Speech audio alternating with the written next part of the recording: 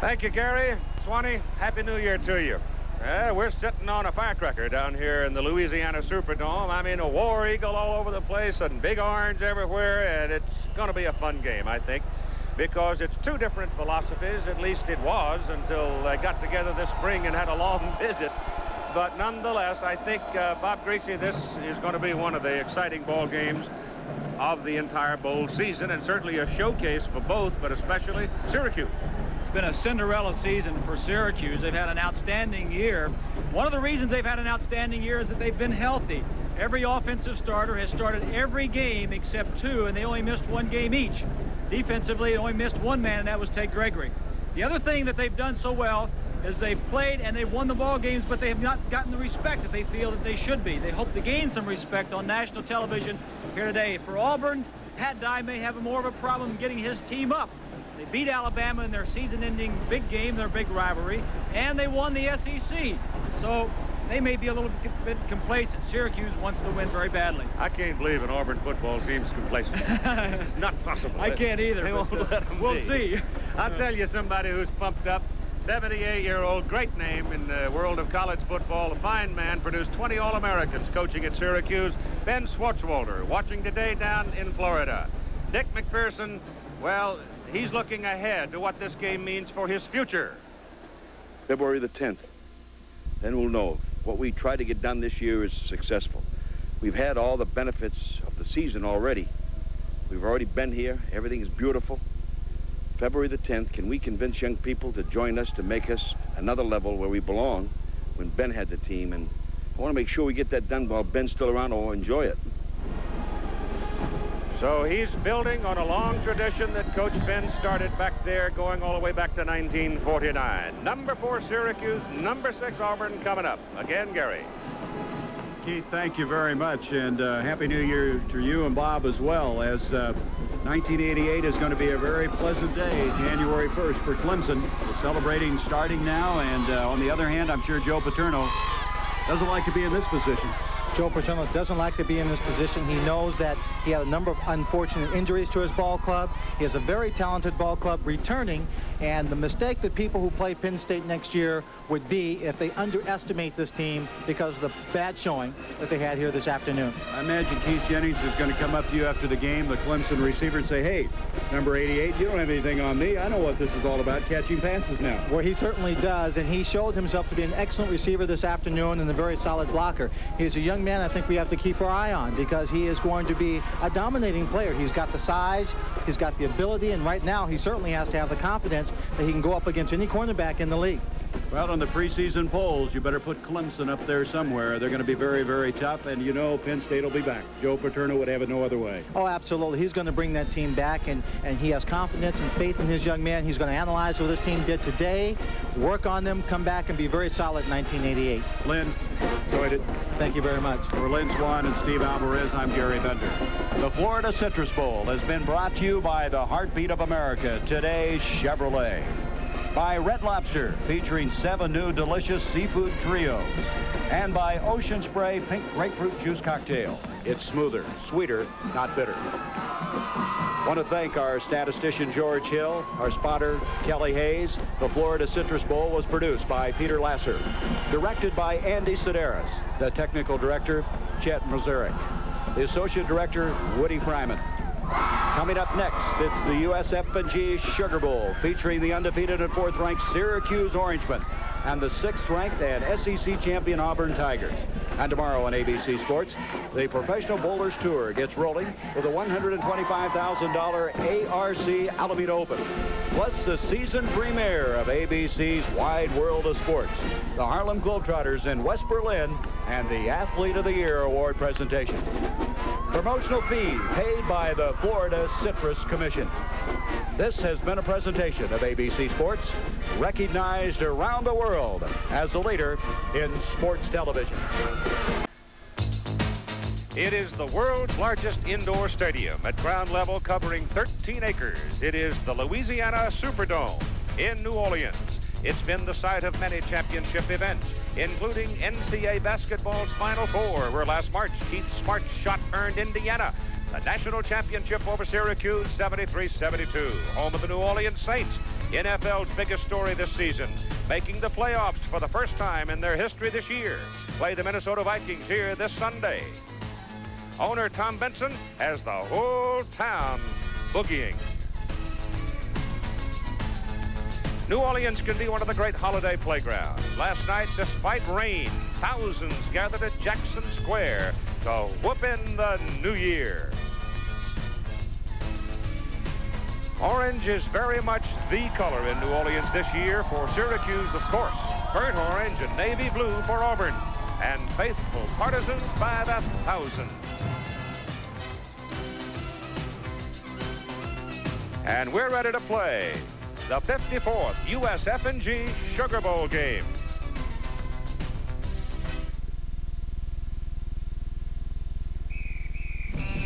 ABC Sports presents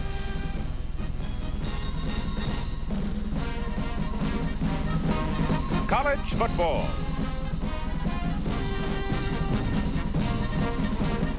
Today in New Orleans, the champions of the Southeastern Conference, the Auburn Tigers, meet the Syracuse Orange Men. Linebacker Andre Bruce, a principal in an Auburn defense that allowed only 12 touchdowns this season, but that defense will be challenged by a versatile Syracuse offense led by quarterback Don McPherson, the nation's most efficient quarterback. It is the first time these teams and coaches have met.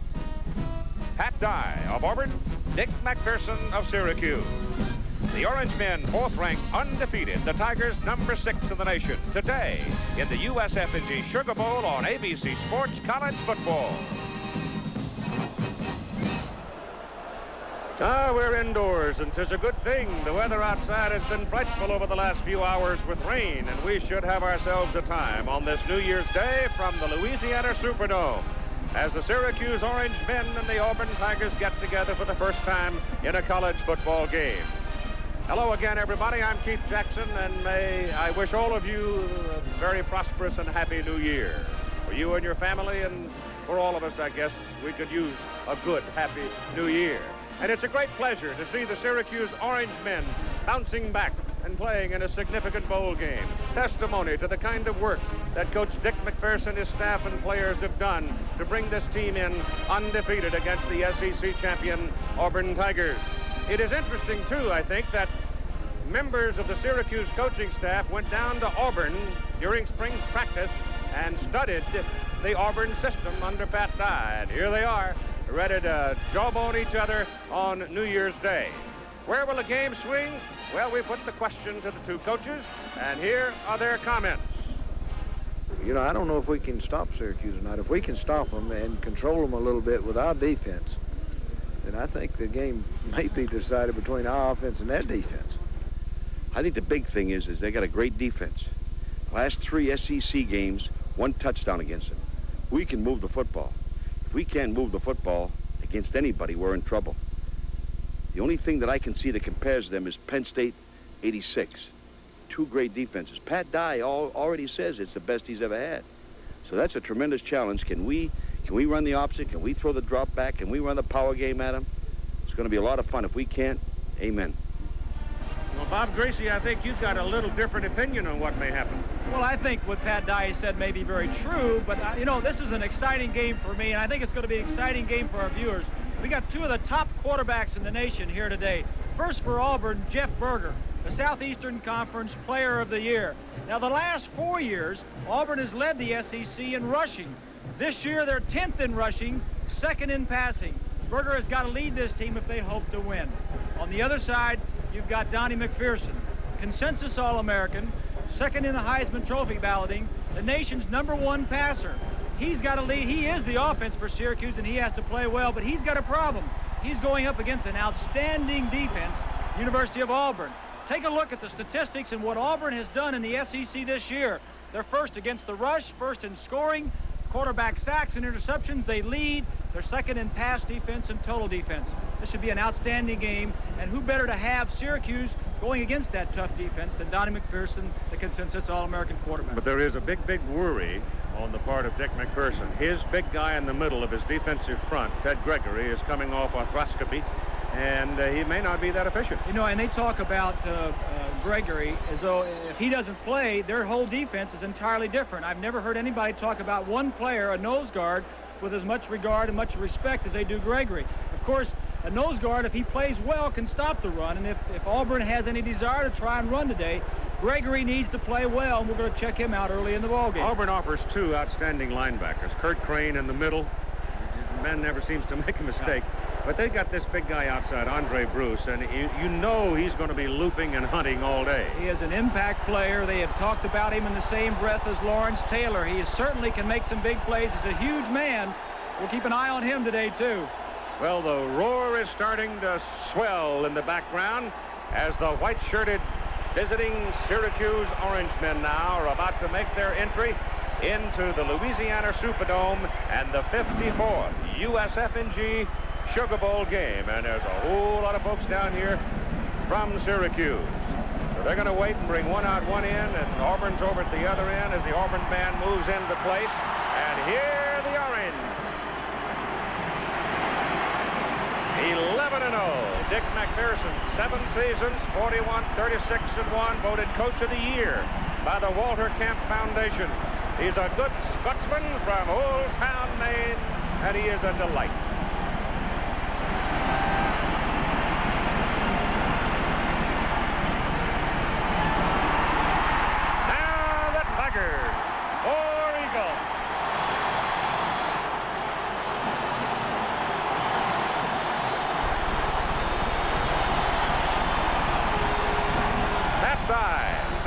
SEC championship, 9-1 and 1. Seventh season at Auburn, 61, 21 and 1.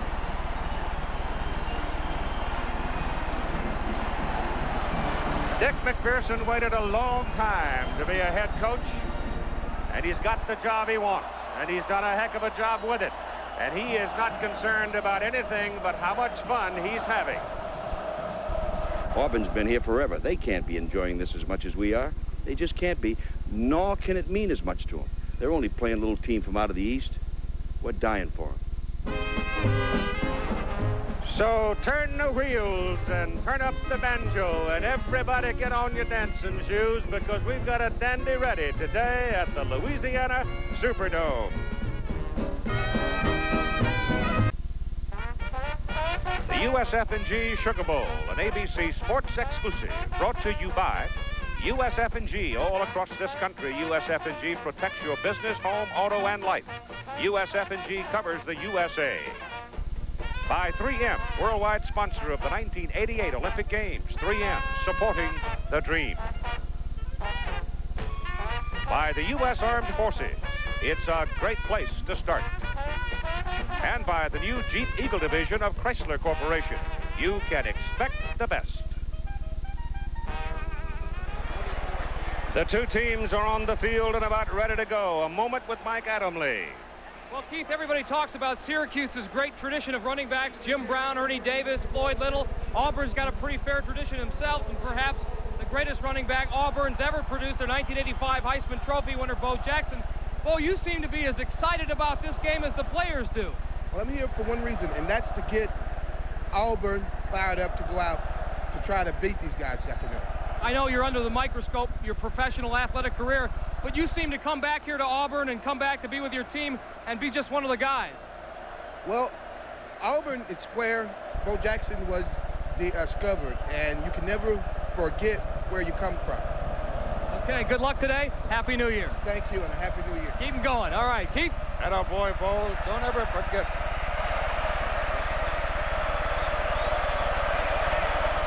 Chris Johnson will kick it off for the blue-shirted Tigers. And we're ready to go. Syracuse receiving. They won the toss. They want the ball. It takes a funny little bounce, and finally it's picked up by one of the big up men. And the Orange will possess the ball up around their 24-yard line. Kelly, Stopel, Flannery, Garrett, Bednarz, and Sims, the big people up front for the Orange. Kane wide, Glover wide. Don McPherson, the quarterback, multi-talented fellow. Johnson and Drummond, the running backs. And here comes your first snap of the ball game.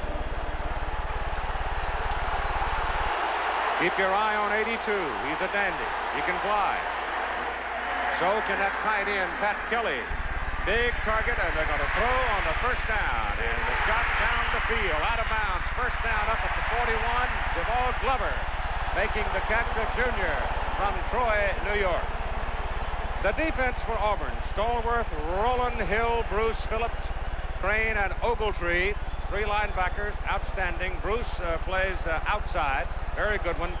Reed, Staples, Cheatham, and Briggs. And look out for some pressure on young Perry Reed, who is a freshman, replacing Kevin Porter, their all-conference performer, who is off the team because of contact with an agent.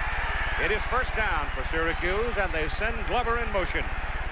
And McPherson going to stay in the air, goes down the middle, intended that time for the tight end Kelly, and he was tipped at the line of scrimmage. These people up front for the Auburn defense, Stallworth stands 6'5", Benji Rowland is 6'4", Nate Hill is 6'5", and when they get up in the air and raise those arms, uh, you got to put some uh, loft on the ball. And it's a very aggressive front uh, five, uh, the three down linemen, the two outside linebackers. Offensive coordinator for Syracuse, George DeLeon, was saying, we'd love to play seven on seven, take away those front four, and we love to throw against them. He feels the strength is in the Auburn defensive line. It is second down and 10 for Syracuse. Option down the line. McPherson gets around the corner. There is the penalty flag in his wake. He gets a big gain out of it down inside the Auburn 40. Run down by Andre Bruce, but let's see about the penalty flag. The referee is John McClintock. The, all the officials are out of the Big Eight Conference. Offside, Auburn. They'll turn it down, and it'll be first down Syracuse. J.C. Limebach, the umpire. Butch Clark, the field judge. Tom Ehlers, the linesman. Mike Borgard, the side judge. Kent Houck, the line judge. Artie Falk is the back judge. As I said, from the Big Eight. Dick MacPherson is uh, explaining to one of the officials that one of his players was uh, un, uh, unduly thrown to the ground or battered on the head. McPherson, very, uh, very outspoken, very uh, well regarded by his players and very well respected. Well, just inside the 40 of Auburn, first down for the Orange. McPherson rides it off to the fullback, and he runs into a stack of humanity wearing blue, anchored by big Nate Hill, the senior from LaGrange, Georgia. Big Nate, 6'5", 266, 6'4", 270, and 6'5", 260 across that defensive front. The linebackers all pretty good size, too. Ogletree, 6'3", Crain 6'2", Phillips 6'2", and Bruce 6'6". So they're tall. It is second down. About nine. They had Kelly in motion going back inside. McPherson caught and dropped back behind the 45 by Ron Stallworth. Remember, Tracy Rocker, an All-American defensive tackle, tore up a knee and is out uh, for the rest of the season. But Stallworth and his colleagues have stepped to the fore in the absence of Tracy Rocker, and young David Rocker, only a freshman, still growing at 6'4 and 260, has stepped in to play well, too. Uh, Keith, if there's a weakness for the Syracuse offense, it was in their offensive line. Early in the year, they've got two redshirt freshmen and one sophomore in the offensive line. Auburn wants to pressure McPherson if they can. It is third down and 17. The ball back near the 47. Short drop by McPherson, runs a quarterback draw, and he is nailed down at the 42-yard line. He got away from Robert Goff, a down lineman who had stepped in at nose guard. And so now it is fourth down. And Cooper Gardner, he was a starting safety, Gardner was a year ago, but he kept getting concussions. And he has been doing the punting this year. On 43 kicks, he has averaged better than 37 yards per punt, and Freddie Weygand is deep. Weygand, uh, a speedster, wide receiver. Normally handles the ball very surely. He will call a fair catch and make the catch out at the 13-yard line. So the Auburn Tigers don't have very good field position for their opening possession. They'll take it, and we'll see what happens in a moment. Now the Auburn offense for you as the Tigers come up on the ball for their first snap of this game. At Jeff Burger at quarterback. Better than 2,000 yards throwing the ball this season, and it's no longer a gimme that Auburn's going to run the football in this end of the field. But they do, and on the first carry, it's Stacy Danley. And Danley, a freshman, redshirt out of Winston, Georgia, 205 pounds, spins out of there and picks up pretty good yardage. Reeves, Floyd, Dunn, Hudson, Garner, Searles up front for the Tigers with uh, Tillman, Lawyer Tillman, 6'4", fine athlete, one of the wide receivers, Duke Donaldson, who is a speed burner, also outside, with Ware and Danley lined up behind Burger. Pick up on the play of about six yards. It is second down and four for Auburn. It Danley. Gets his cut, gets his block, gets the first down up at the 29-yard line. Defensively for Syracuse, along the defensive front, Paul Frase, 265-6'5". Ted Gregory is starting, sore leg and all. He's a gamer, 6'1", 260. Rob Burnett, 255, the other tackle. The backers uh, you saw there, and the defensive secondary, Ingram, Mangrum, Paul, and Holmes. And Marcus Paul, outstanding in the defensive secondary for Syracuse. He's out of Florida. He can run. Goes Burger on first down. Throws underneath, but the pass is incomplete. He threw the ball to his man right in front of the backer who dropped off, and Danley couldn't make the catch. Let's go in and take a look at Ted Gregory, the All-American, number 93 in orange, right in the middle of your screen, being blocked one-on-one -on -one by the center. Now he gets a little help from the left guard. Expect to see that all day, but no apparent signs that that leg is giving him any problems.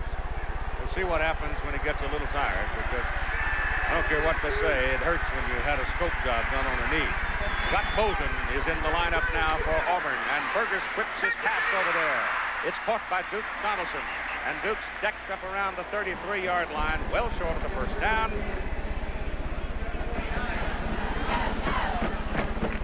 Pat Dye pacing the sideline. He's developed a program at Auburn that has depth He's got an all-star team hurt on the sideline. There's no question. You mentioned depth. He will he will run in uh, offensive and defensive players in early in the ball game. He says our games are won in the fourth quarter. He uses players. He takes out his All-Americans. His All-Americans only play two-thirds of the ball game. It is third and seven for the Tigers, and they run it up the middle on a little delay, and Danley can't shake it. And it's going to bring up fourth down, and the Tigers will have to punt it away. So Syracuse moved it some on their first possession. Auburn moved it some on their first possession. Now the punt from Brian Shulman, averaging better than 40 yards per kick. Spins it out of there. It's a good kick. Connie Kane takes it and can't break it as he is swarmed back around the 28-yard line. That's a 40-yard punt, three-yard return with 10 minutes and 13 seconds to go in the first quarter of the USF&G Sugar Bowl.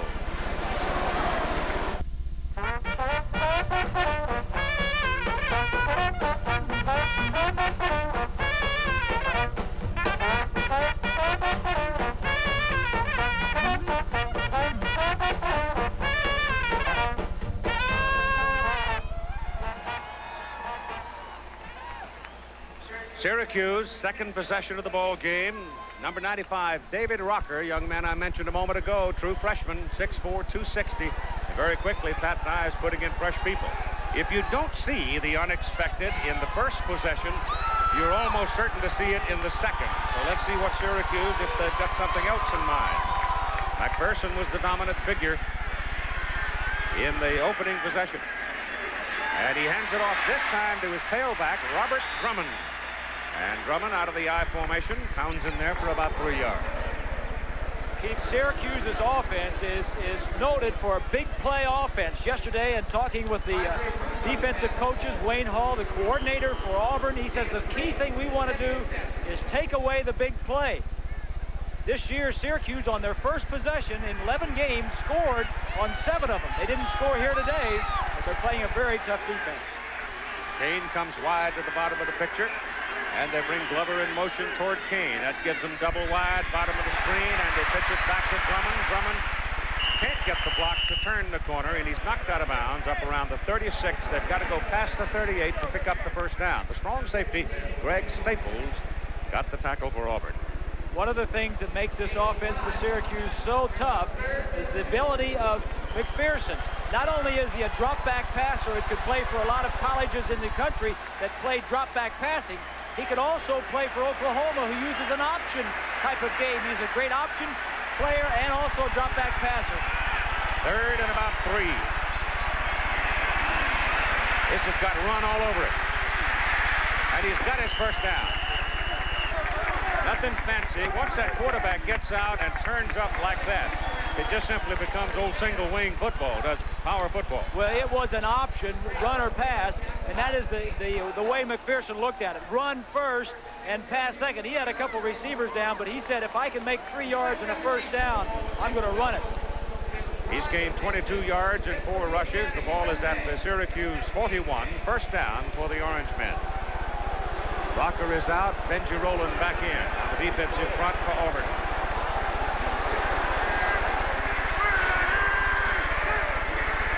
Straight back McPherson. Gets some heat. Down he goes all the way back at the 27. Robert Goff and Ron Stallworth for the Tigers.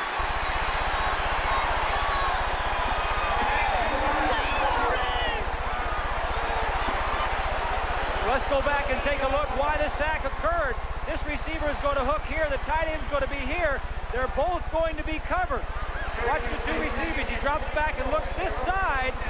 You hold it just about here, hold it. You see the man here and the man right here, both covered. That's what we call a coverage sack.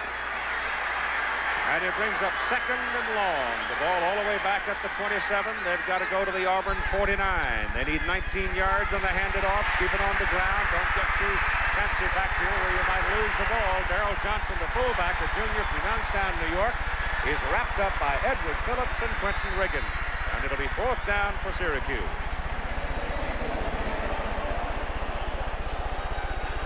It'll be third down. Syracuse. Third down, yeah, third and a third and a long way to go. It looks like it might be fourth. This is an area that uh, Syracuse has used a quick kick in the past, uh, Keith. I don't know if they're going to use it here, but backed up in their own area, third and long, but they don't want to turn it over. Good place to do it. They might try. Johnson would do it.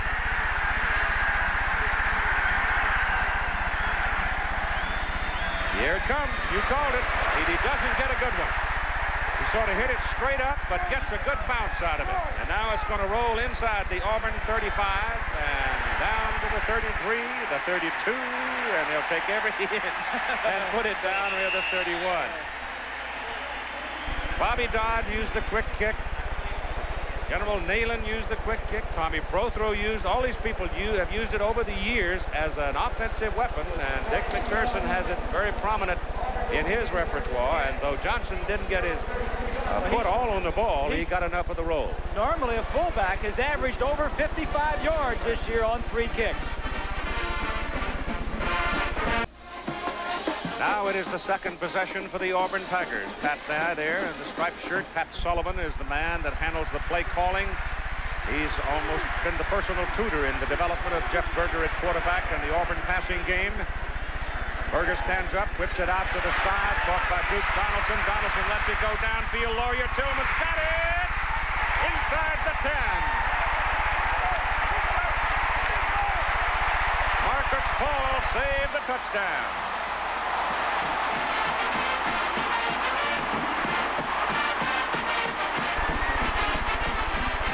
Tillman is going to go straight down as the quick screen pulls the corner up.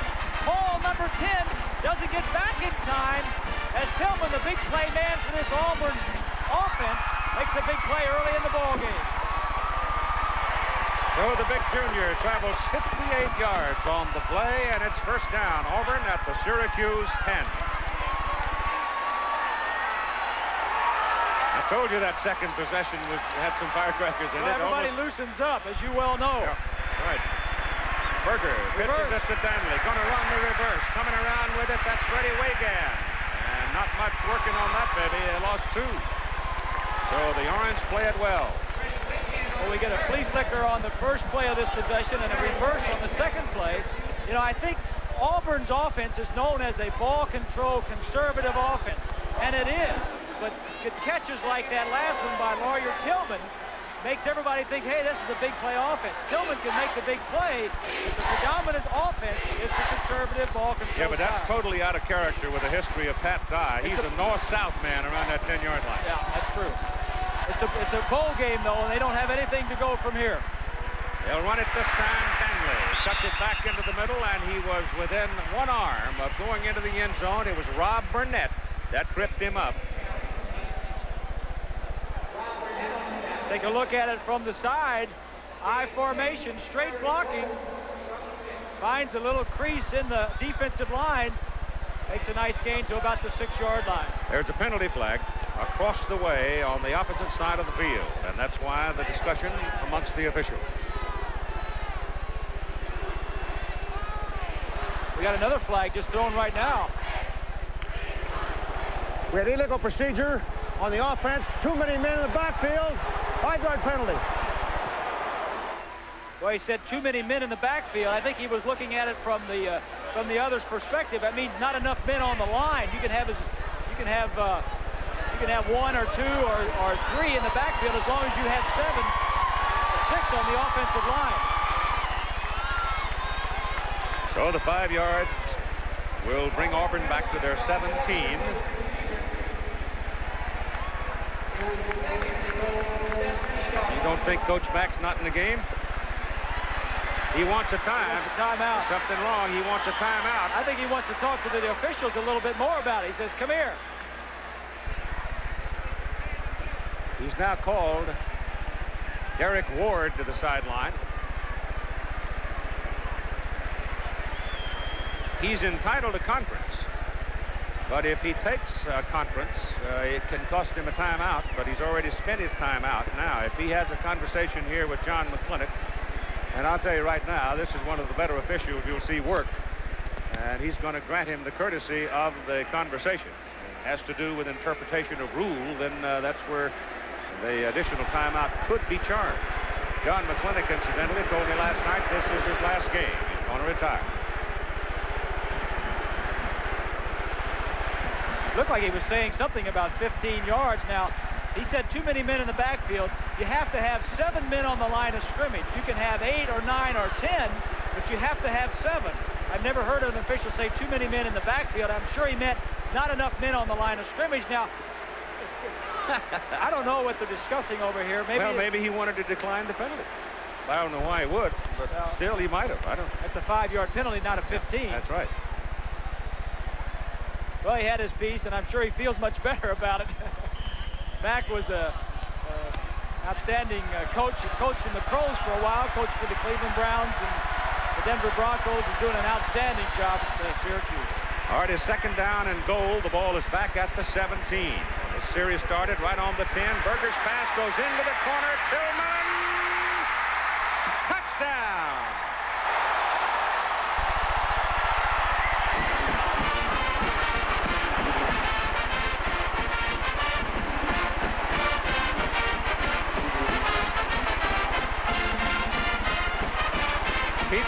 That Lawyer Tillman is 6'4 and a great leaper. Right here, he's just going to go down and break to the corner. Now, there's no one out here. When he sees that immediately, he's thinking, I got some good things that are going to go on. He's going to release to the outside. The outside man just holds his defensive back. A nice throw high into the outside and a good throw by Burger. Win Lyle, sophomore from Auburn, stayed home to play and drills it through. So with 5 minutes and 47 seconds to play in the first quarter, the Tigers go to the lead. Burger, I mean, uh, Tillman, number 85 in the center of your screen, is going to release around. Now he holds the safety who's going to come into your picture just about now. 10 is Paul, who leads the team in interceptions and just could not get there because the ball was thrown perfectly. And as you mentioned, Tillman, with his 6'4 height, made the catch. There will be people who will argue forever that Jim Brown was football's greatest running back, and as long as there is history film, they'll have a case, both at Syracuse and later with the Cleveland Browns. Brown's senior year, Syracuse went to the Cotton Bowl. Remember that Jim Brown only played eight regular season games in college.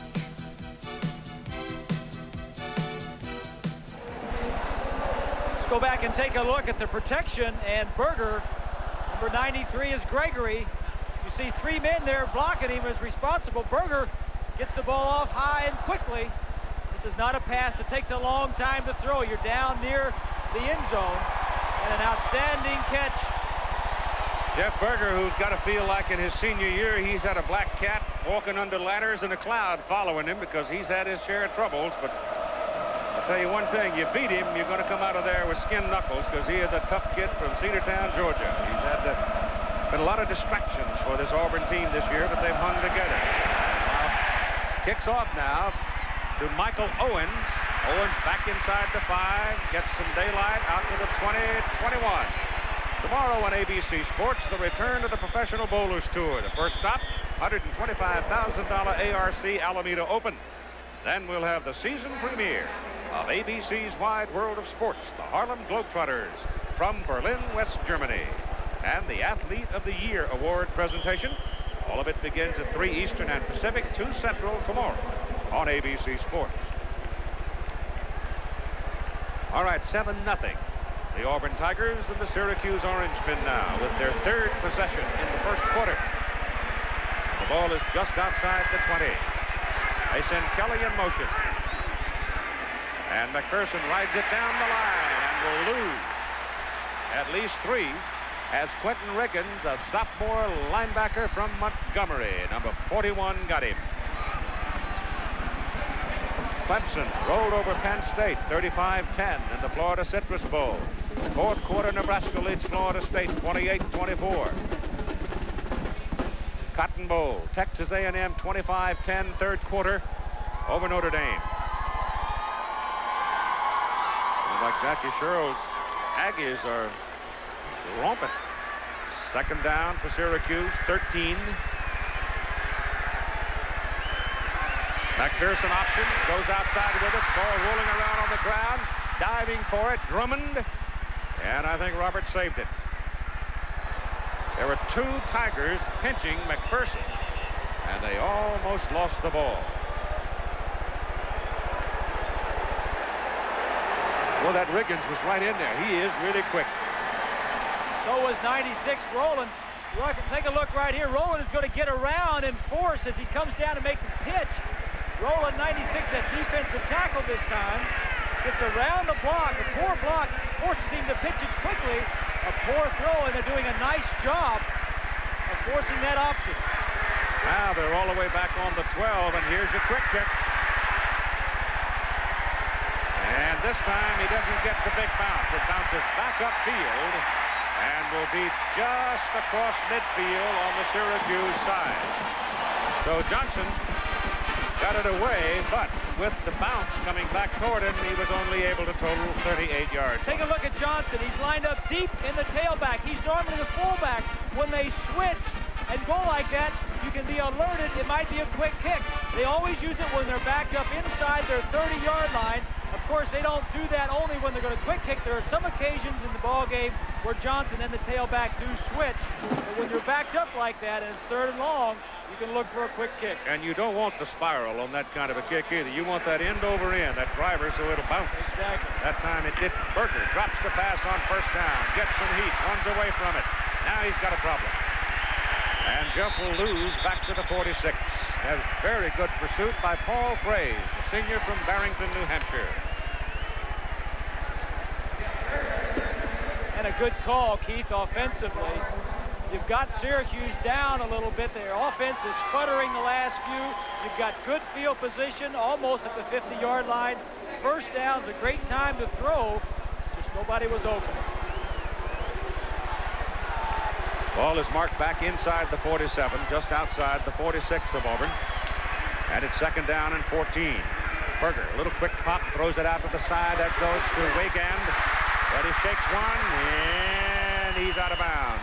Just at the 46 of Syracuse. So a fair gain on the play. It'll bring up third down, and here's Mike Adamle. Well, Keith, that play right before the Lawyer Tillman touchdown reception, you might wonder why Dick MacPherson was arguing so vociferously. His contention was not only did Auburn have too many men in the backfield, but too many men on the field, period. 12 men on the field. He said of an, instead of a five-yard, or in addition to the five-yard penalty, it should have been also loss of down. So that's why he was hooting and hollering. Well, he got their attention. From the 46, it is third down and a short seven. Burger's pass picked off. The Auburn receiver never looked back. I don't think either one of the two receivers were ready to make an effort at the ball, and Burger is picked off by David Holmes, the right quarterback, a junior from Burlington, New Jersey. Neither man was really available, but I think the receivers could have at least kept the ball from being intercepted. Well, what happens on a case like this, Keith, is there's supposed to be an adjustment ran. Burger thought he was going to run a different route. The receiver just kept going straight upfield. He was throwing for a spot. He expected the receiver to be in that spot. The receiver ran a different route. Watch him. He goes straight up the field. That's 24 Bolton. He goes straight up, and the ball is thrown in. He expected him to square in and catch that football. And so Syracuse makes a break now. First down at their own 42. Auburn leading 7-0 in the first quarter. The fullback, Johnston, Daryl Johnston, just keeps on pounding, and he picked up about six on that carry. Michael Owens is in the backfield now. He's number 44, a sophomore from uh, Carlisle, Pennsylvania.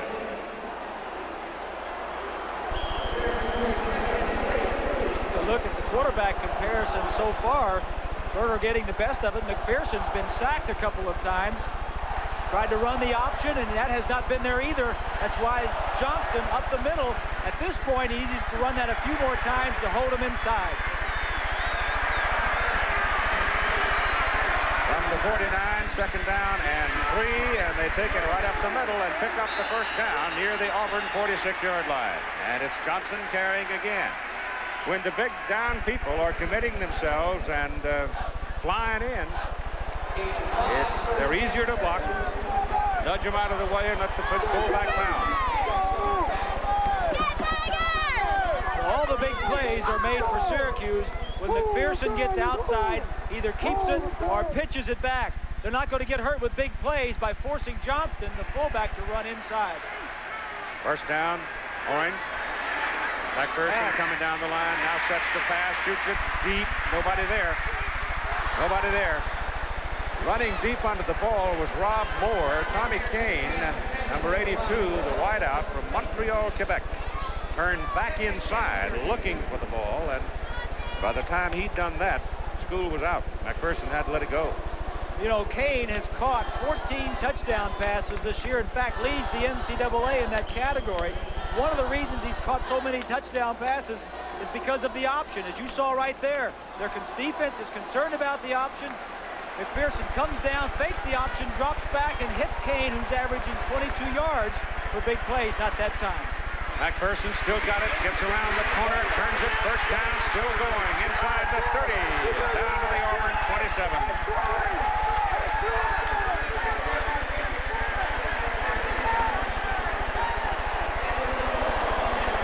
Take a look at the line play offensively for Syracuse.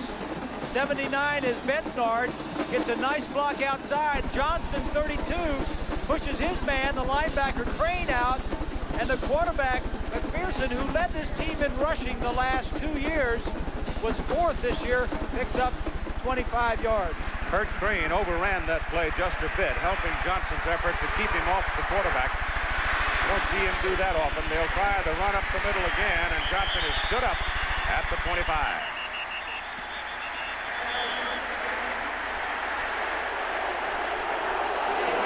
Johnston is a big, tough kid, a fullback. Reminds me of a little bit of another guy that played fullback for Syracuse a few years back, named Larry Csonka. In fact, I was at the, one of their breakfast meetings yesterday, and Johnston came over and we were chatting a little bit. He was wondering about Csonka. And to know if all those stories that Csonka is telling me is uh, telling everybody about me are true.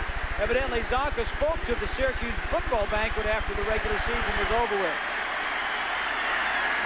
Telling stories on you? Yeah, and none of them are true. McPherson option down the line. Looks to the corner, run down by number 96, Benji Roland. Oh, Benji is active in the middle there.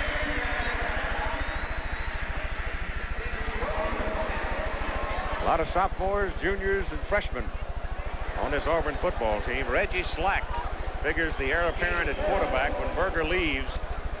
They'll get Tracy Rocker back next year as well. Well, it looks like a pretty good football they team are, next They year. are big and strong, and as McPherson said, and besides that, they're quick.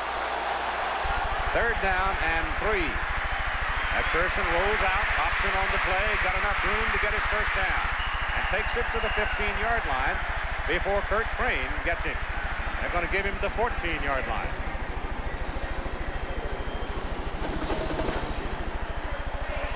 Here's the All-American, number 39, Crain. He flows with the quarterback. When the quarterback rolls out, everybody is covered. McPherson has a little bit more speed than Crain, picks up the yardage for the first down. First down. But Crain is a walk-on, a transfer from Memphis State, has come on and really is the leader of that defense. McPherson has run nine times for 36 yards, hand the ball off to number 32, that's Johnston. Johnston running out of the I-back position that time. And he'll pick up a yard or so. Gone. First quarter of play. So after one in the 54th USF&G Sugar Bowl, it's Auburn 7 and Syracuse threatening.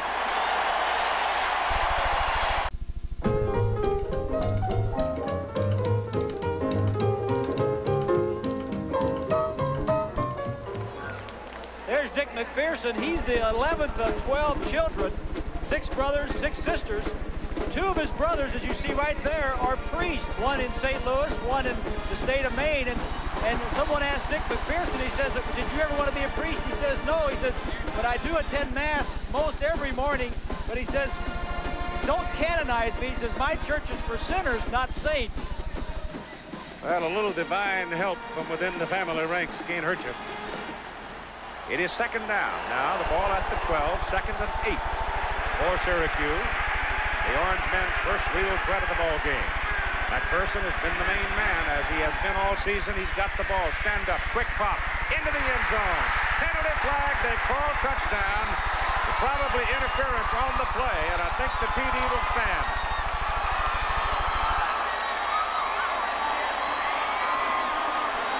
They burned Perry Reed on that play, who is replacing Kevin Porter, and it was Glover who did it.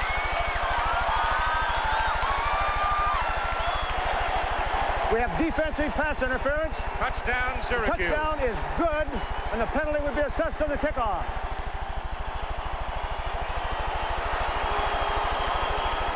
Tim Vesling now will try to tie the ball game. The holder is Todd Philcox. The snapper is Brian Featheroff.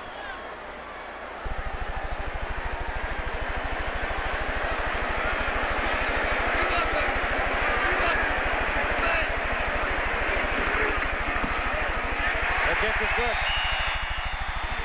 Tim Vesling has never missed an extra point in his college career. 72 of 72 now, and we're all even the USF&G Sugar Bowl. Go back and take a look why this works. Here's Glover. He's going to run a slant. Now, when the option starts this way and McPherson comes, the safety who is right in the way comes up.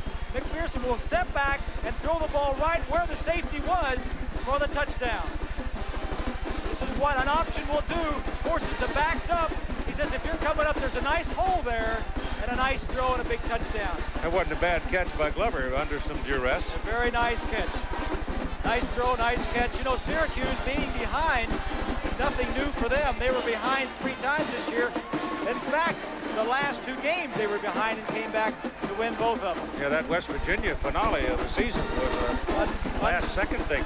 Unbelievable. Take a look at the time of possession, Syracuse on the left, controlling it for more than 10 minutes. Auburn had hoped to be able to one, be the team that controlled the football. Well, now the Tigers know they're in a football game, don't they? I think they knew that Syracuse was going to come back. This is going to be an exciting game. You know, I asked, let's, let's take a look at this again from the line side. Good protection up front, which is always key. Offensive line doesn't get credited for very much, but you talk to the quarterbacks. Look at an outstanding catch. And there you said, Keith, Perry Reed, who is subbing for Kevin Porter, was the man who they were working on. He's just a freshman. He hasn't yeah. had a whole lot of time at that position. You I guess, Bob, that may be one of the toughest spots if you're going to have to go out and, and play fresh. Uh, cornerback's got to be about the toughest place you can go. I mean, you can hide a defensive linebacker or a defensive lineman, but but you're out on a corner one-on-one, -on -one, you can control the outcome of a football game. Harry Mose is the man in the middle now for Vesling's kickoff. Harry is another freshman out of Lake Wales, Florida, 200-pounder, and he's, he's moving.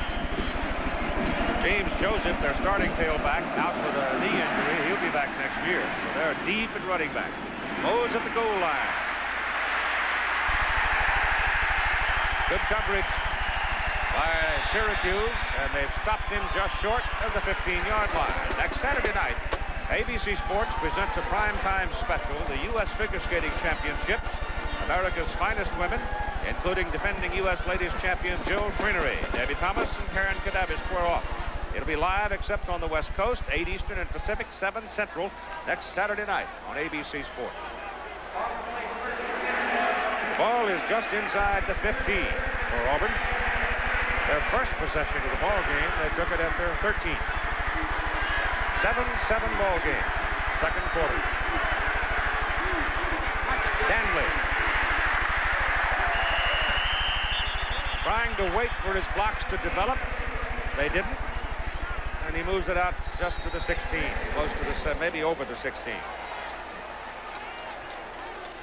just a toss sweep. This is one of the plays that Syracuse wanted to find out about when they went down in the spring to see the Auburn program. The toss sweep and how they practice to be so physical out there on the football field. David Holmes, the corner, number 38. You saw him come up to the outside and turn that play back in. So he was the key man.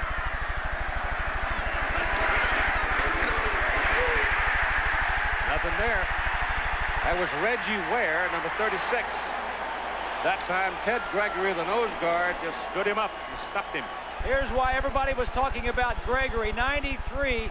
The center can't control him. Here, they block him one-on-one, -on -one, and you can't do that. Penn State tried to block him one-on-one, -on -one, and he had a field day. He made like 16 or 17 tackles. You have to have two men on him to start with so one of them can control him. It'll be third down and about eight for Auburn. Mean and nasty, I am told, especially when he was hurt, Keith.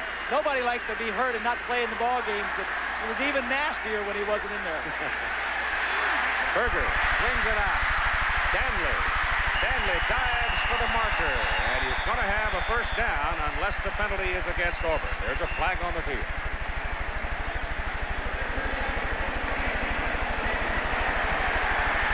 Against Auburn. Wipes out the first down. Pat Dye has gone more to a passing game this year because of necessity. He really doesn't have those outstanding running backs that he's had here in the past. Guys like Brent Fullwood, Bo Jackson, Lionel James, James Brooks, William Andrews, Joe Cribbs. On the offense, it'll still be third down. Let's watch the right side to see if we can see a hold. Right there, the left guard, the right guard with his left hand out. That's Garner, number 76, scoring two points on a takedown. But Pat Dye going more to the passing game out of necessity. Ball back inside the nine, third down and 17. On that little delay to Danley, Syracuse forms it. Now, Auburn will punt out of the end zone. And pressure's on Brian Schulman, the junior from Brentwood, Tennessee. See if Syracuse goes after it here.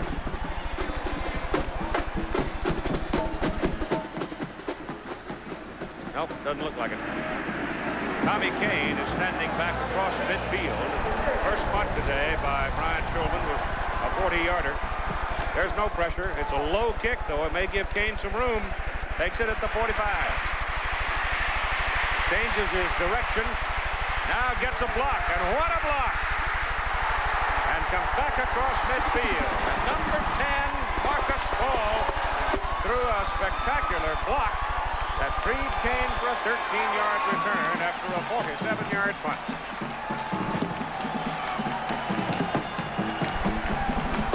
Watch number 41 for Auburn. He's the man that's going to be blocked. And Markus Paul, number 10, right, right here is going to just deck him. And whenever that happens, the man starts one way, comes back, You can normally look for some of those wipeout blocks. Syracuse with the ball at the Auburn 42. You've got 12-19 to go in the first half, and the Syracuse Orange men are camped on the Auburn 42-yard line, first down in a 7-7 ball game.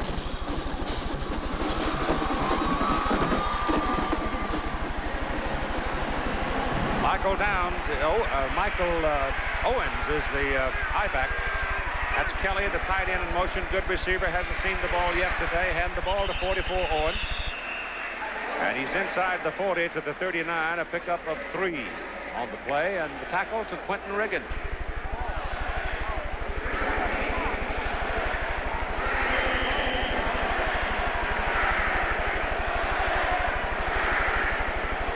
Syracuse tailbacks together, there are three of them, Drummond, Owens, and Abraham gained over 1,400 yards from that spot this year. Second and seven. Glover in motion, the man that caught the touchdown. A little pop downfield to Glover. He's got it in the secondary and takes it to the Auburn 20-yard line. First down, Syracuse.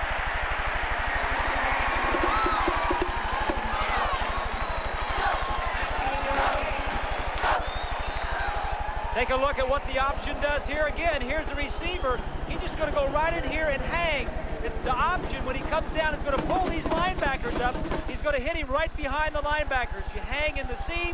He fakes the, the handoff, pops his receiver, and lets him run. Tough offense for defense. Robert Drummond is back in at I-back, replacing Owen. Has the ball. Oh, he had a hole, and he was about to take off. Number 78 trying to pin a block on Ogletree, but Ogletree got just enough of him to knock him down.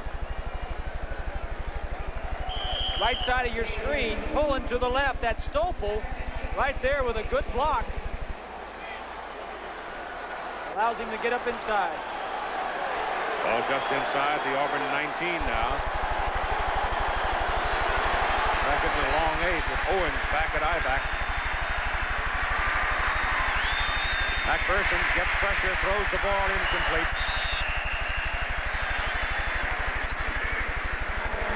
So he had pressure in front, and he could hear the hooves coming from the back, and he missed his target.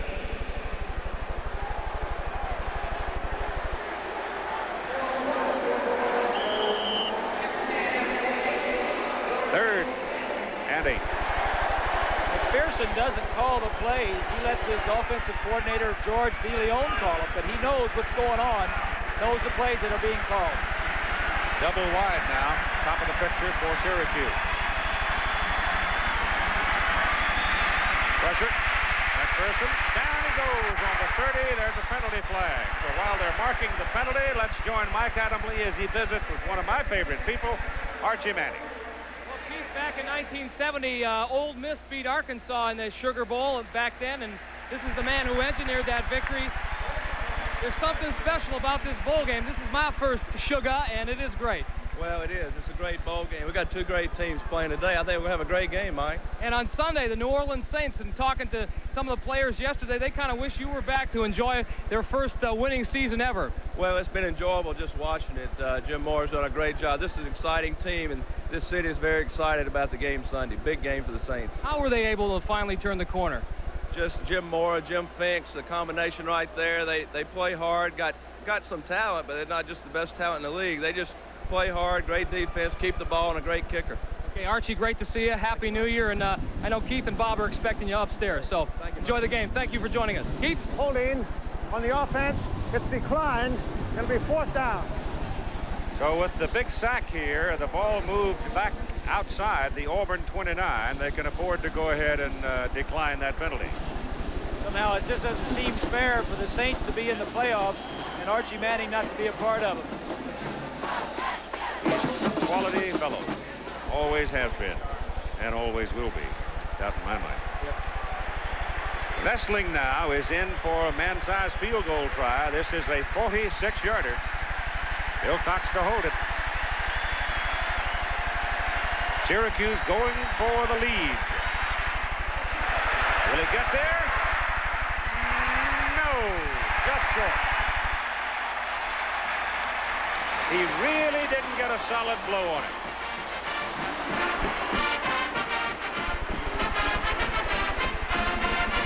You huff and you puff, and you pray a little bit. And sometimes even that won't work. His longest of this year was 45. That was 46, and it was a yard short.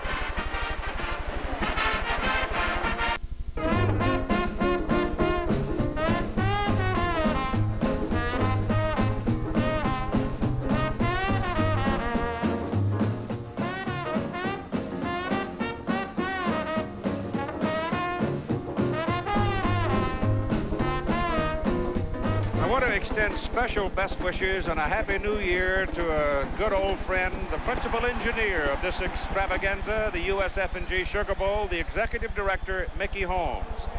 Momentary setback with a little health problem, but he's a good tough one, and I know that Mick will be back and back at his desk and doing his job. So, Mickey, we wish you the very best for the coming year. Now Auburn's ball. First down at their own 30. Burger gives it to the up man Ware. And in this series, you sort of get the feeling that Auburn might really want to test Ted Gregory. Well, they have gone up the middle a few times. Gregory has gotten the better part of it on occasion, but there have been other times when they've been able to run inside.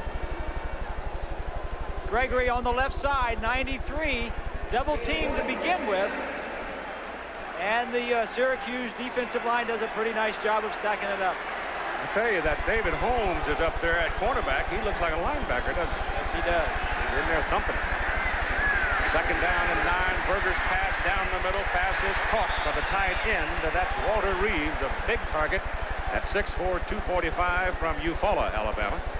The gain is short of the first down, however, out near the 37. They've got to go close to the 40 in order to get the first down.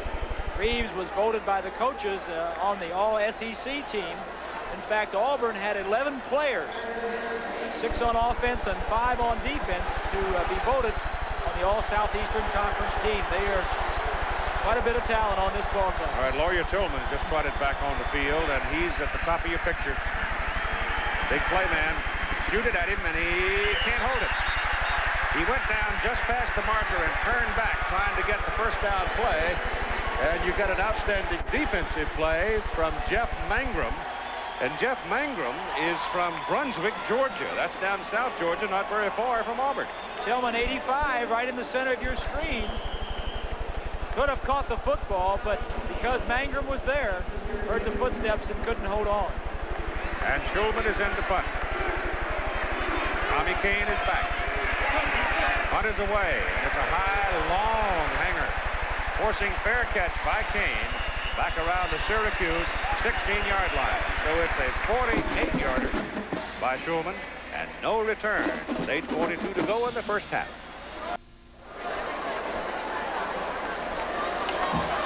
Well, from that angle, that perspective, it looks like a fur piece, and it is. Well, you're standing behind the center as a quarterback looking that way. It is a fur piece, especially when you got those blue jerseys over there that are darn good to go through. From the 16, Don McPherson. It, gets a big hole for Owens. And Owens gives him some breathing room. He's close to a first down. Carlo Cheatham, the junior out of Sheffield, Alabama. Number 35 gets in on the tackle. And Owens gets up gimpy.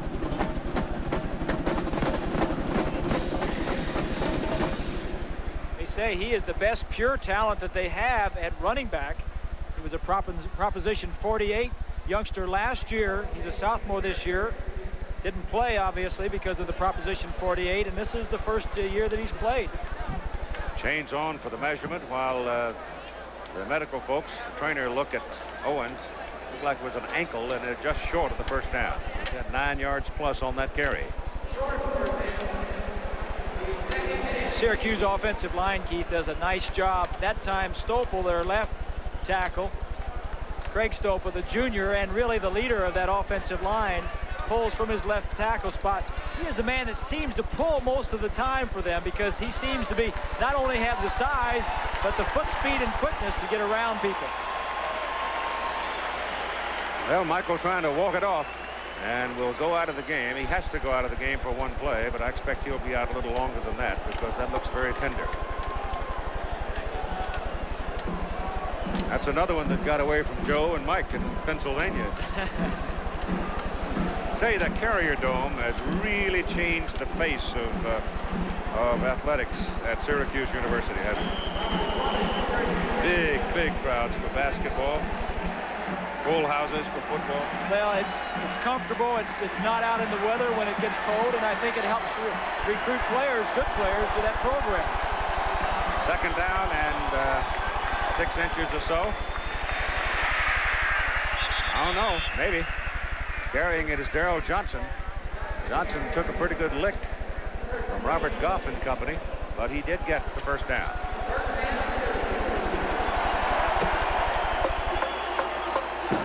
Dick MacPherson has sort of changed the social habits with an 11-0 football team. It's been Jim Boeheim's show with the, the kind of ball you bounce. They say normally this time of year the football team has more losses than the basketball team, but that's not true this nope. year. Nope. From the 27, first down.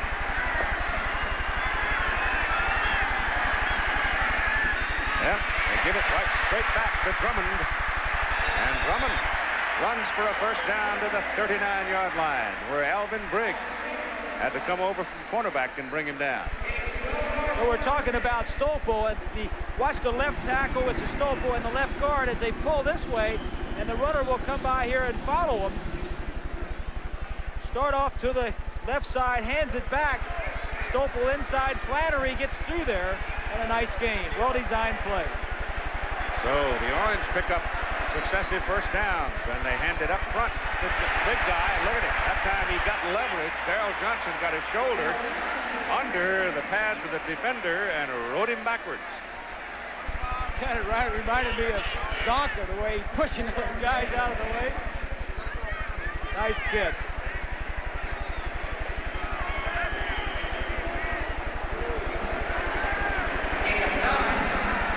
The coach is MacPherson, M-A-C. The quarterback is McPherson, M-C. And it's second down again and inches. Let's see if they try to go for something bigger here and just pick up the first down. Oh, broken play it looked like. McPherson, the quarterback. I'll tell you one thing, he is fearless. You see him put that head down and drive into that defensive back Briggs. I'm not so sure that wasn't a designed play. Uh, Might have been. As, as, much as they like to, to let him run, the key, the tip-off to it was the receiver on this side, the side he ended up coming to, was blocking the corner all the way. As Briggs, Briggs gets hurt four, here. yeah. That's a pretty good lick McPherson put on him. Don is six-footer, 190-pounder from West Hempstead, New York. He's now run the ball 11 times, and no Syracuse back has carried it more than 14 times in a game this season. Riggs is out of there, and John Wiley in replacing him. McPherson looking to throw it, goes underneath with it, completes the pass to the Auburn 39. They've got to go close to the 34, so they're going to need about five more yards. Total plays so far in the ball game.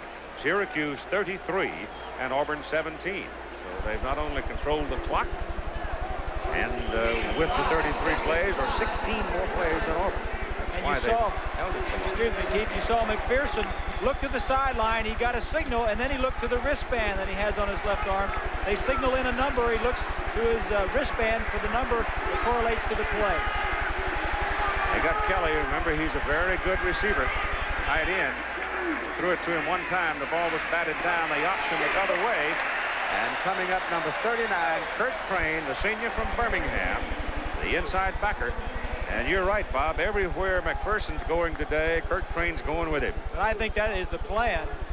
As we take a look right there, that's Ivan uh, Fears, the receivers coach that is wagging the plays into McPherson. Now, we saw Briggs was hurt a little bit earlier. Wiley, number uh, nine, a true freshman, is in at one corner for him. At the other corner is Reed, a redshirt freshman. So both Auburn's outstanding corners are out of the game. And it's third and short five. Pressure, no, they get it. That is the fourth sack, and this one goes to Craig Ogletree, a sophomore from Barnesville, Georgia. Take a look right here. Ogletree is going to come in. Nobody's going to block him. The receiver's going to go out. Usually if the receiver, is, the uh, back is supposed to block him, the quarterback knows that it's a hot receiver, but that time there was a mix-up. Either McPherson or the, the back did not block the proper man. Cooper Gardner in to punt it. Duke Donaldson back for Auburn. Little pressure on him, but it's a very high kick, and it should be very efficient. And uh, Donaldson didn't have any choice. He had to let the ball bounce, and just simply couldn't get to it. And it winds up a 40-yard kick dead at the Auburn four.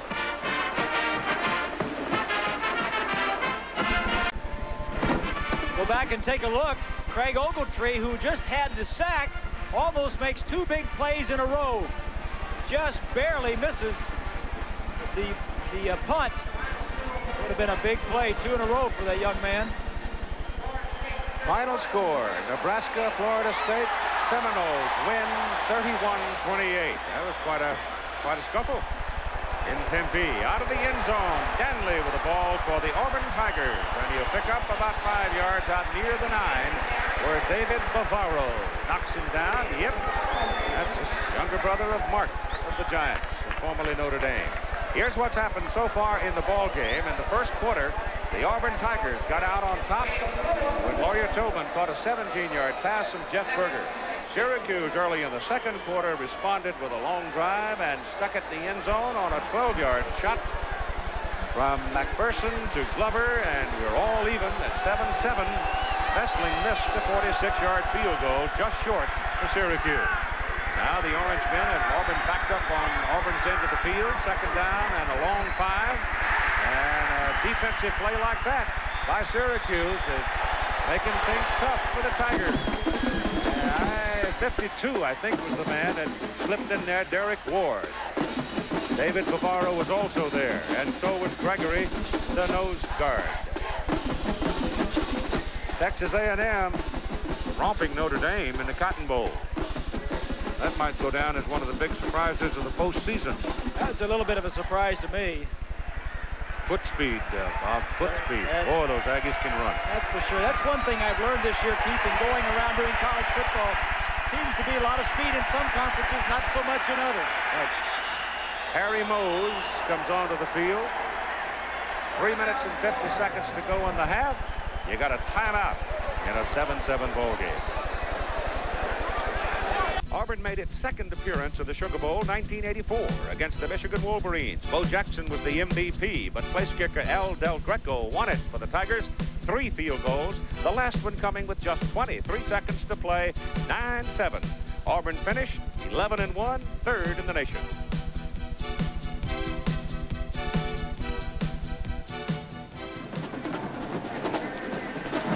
All right, full house crowd 75,495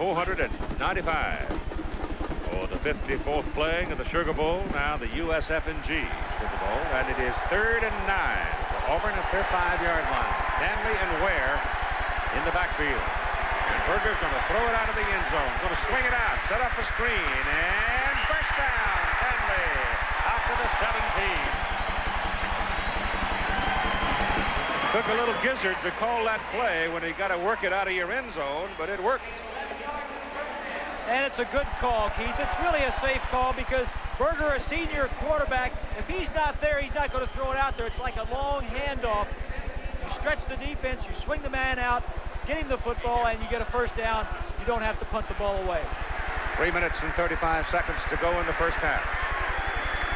Burger stays in the air. Down the middle, got Lawyer Tillman. And Tillman is out to the 36, and he'll have a first down. David Holmes brought him down. You can never take your eye off Tillman. Tillman is the one that's going to make the big play on you play action fake on first down after you've come out of your own end zone. Good call. And a nice throw. He had to throw it over a linebacker in between some orange helmets. Class throw right there. Back in 86, when the lawyer ran that reverse into the end zone, nobody was really sure. Half the players didn't know what the play was. He got the ball and said, well, here I go. I'm going. Winning touchdown. That's a deep sideline pattern to Freddie Weygand. Penalty flag. That's a foul on the Syracuse defender who got there much too late. Ingram. Chris not looking at the markers. He was going for the man, and he hit him too late. Again, Auburn going away from the run, throwing the football. This is a long out pattern. Nice catch by Weygand and a frustration right there, just hitting him in the back. we have a dead ball. yards. Personal foul on the defense. It'll be first down. Back on a big 15 yards, and you've got the ball now inside the Syracuse 39.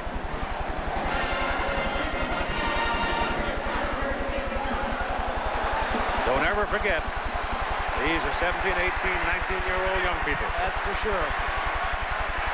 First down. Burger back. Got some heat. Takes off.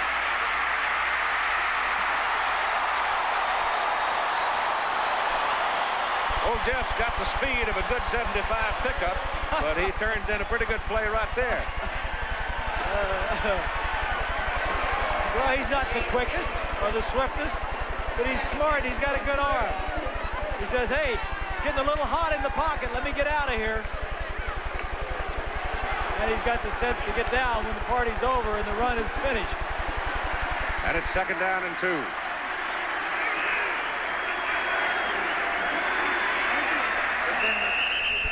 That should be very close to a first down.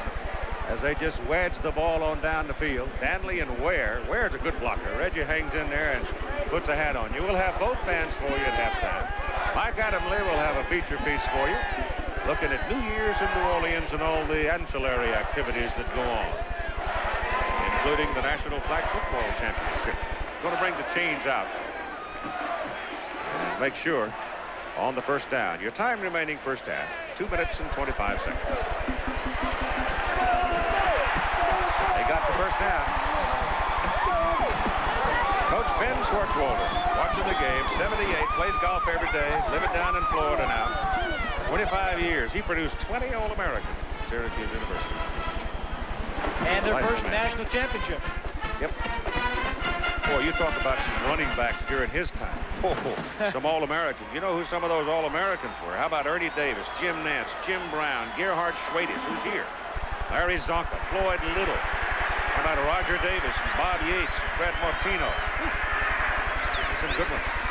Bootleg, Burger, Reeves, picks up. Now let's see. Did he call that catch good or did he call him out of bounds? It's good. Yeah. And it's a first down. It's a first down. That's a cute little play. Looked like a naked bootleg developing. It was. Reeves is here. He's going to release inside and then come back out. Everybody's going this way. He's going to fake it and hit him on a nice little play. Sometimes these things are good to get the linebackers all messed up because every, all the flow goes one way. They can't read and react as quickly if you run this type of play. Ball is just inside the Syracuse 18, where it's first down, Auburn. Now Auburn bidding for the lead. Give the ball to Danley, runs hard, and pick up a yard, maybe, maybe two. Brought down by Terry Wooden, number 90, a sophomore from Hartford, Connecticut. Stacy Danley is a freshman, 205 pounds. Behind him, Harry Mose, freshman, 200 pounds. And then you got James Joseph, injured on the sideline. He'll be back next year. So they'll be very, very deep running back next year. Vincent Harris and Alex Strong back up to senior Ware at fullback, both sophomores. Burger swings it out. Danley's in trouble. Got a problem with number 94, Paul Frase. So Paul sliding out there, got his hands on him and wasn't about to turn him loose.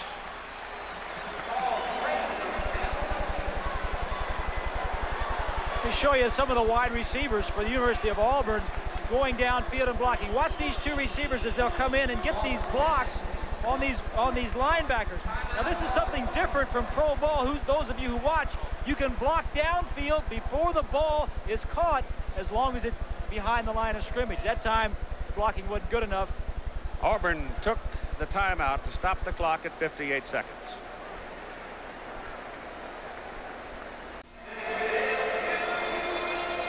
There's the time remaining. There's your score. Auburn owns the football.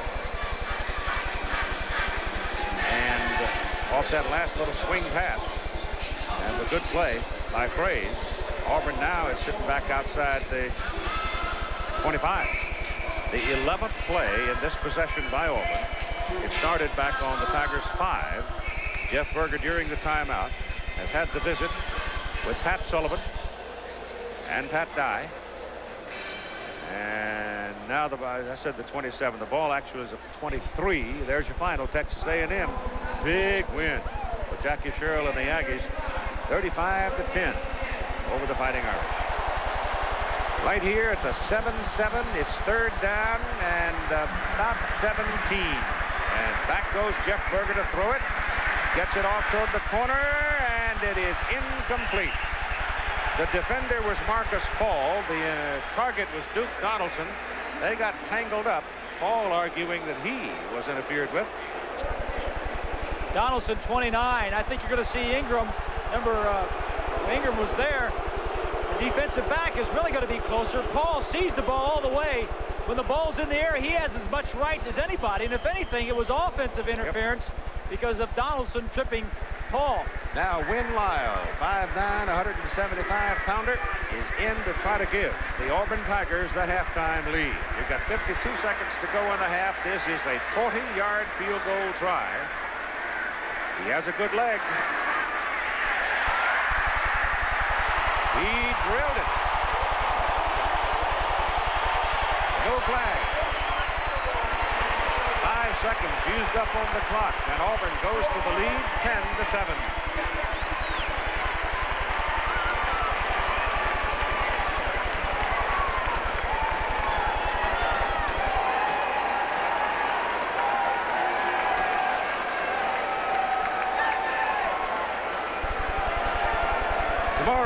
ABC Sports, the return of ABC's Professional Bowlers Tour, $125,000 ARC Alameda Open. Chris Schenkel.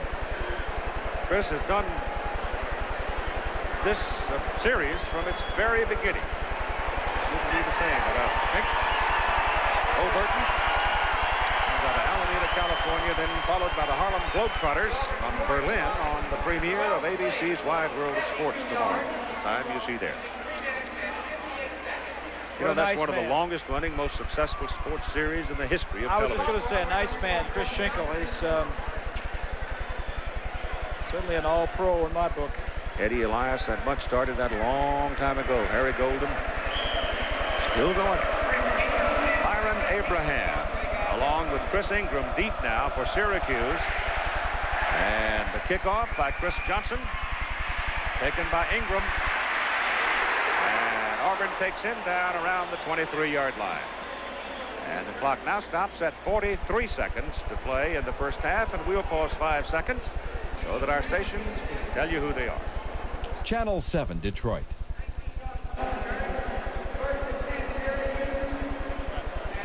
Auburn took the lead 7-0. Syracuse came back to tie 7-7. And now Auburn back to the lead 10-7 on Win Lyle's 40-yard field goal. McPherson will try to work it downfield and maybe give Vesling a shot. Carlo Cheatham plays deep center field for the Auburn defense. That's an incomplete forward pass. Incomplete forward pass. Definitely arm was going forward as Benji Roland hit Don McPherson.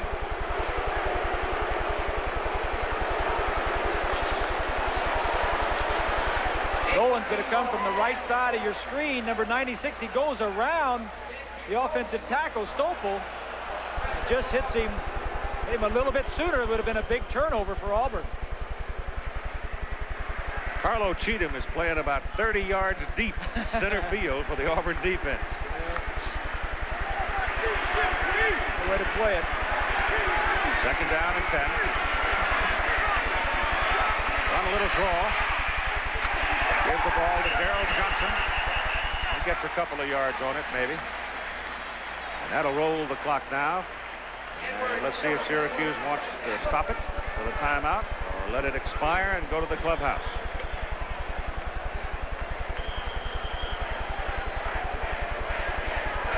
I think that's it. So the first half is over.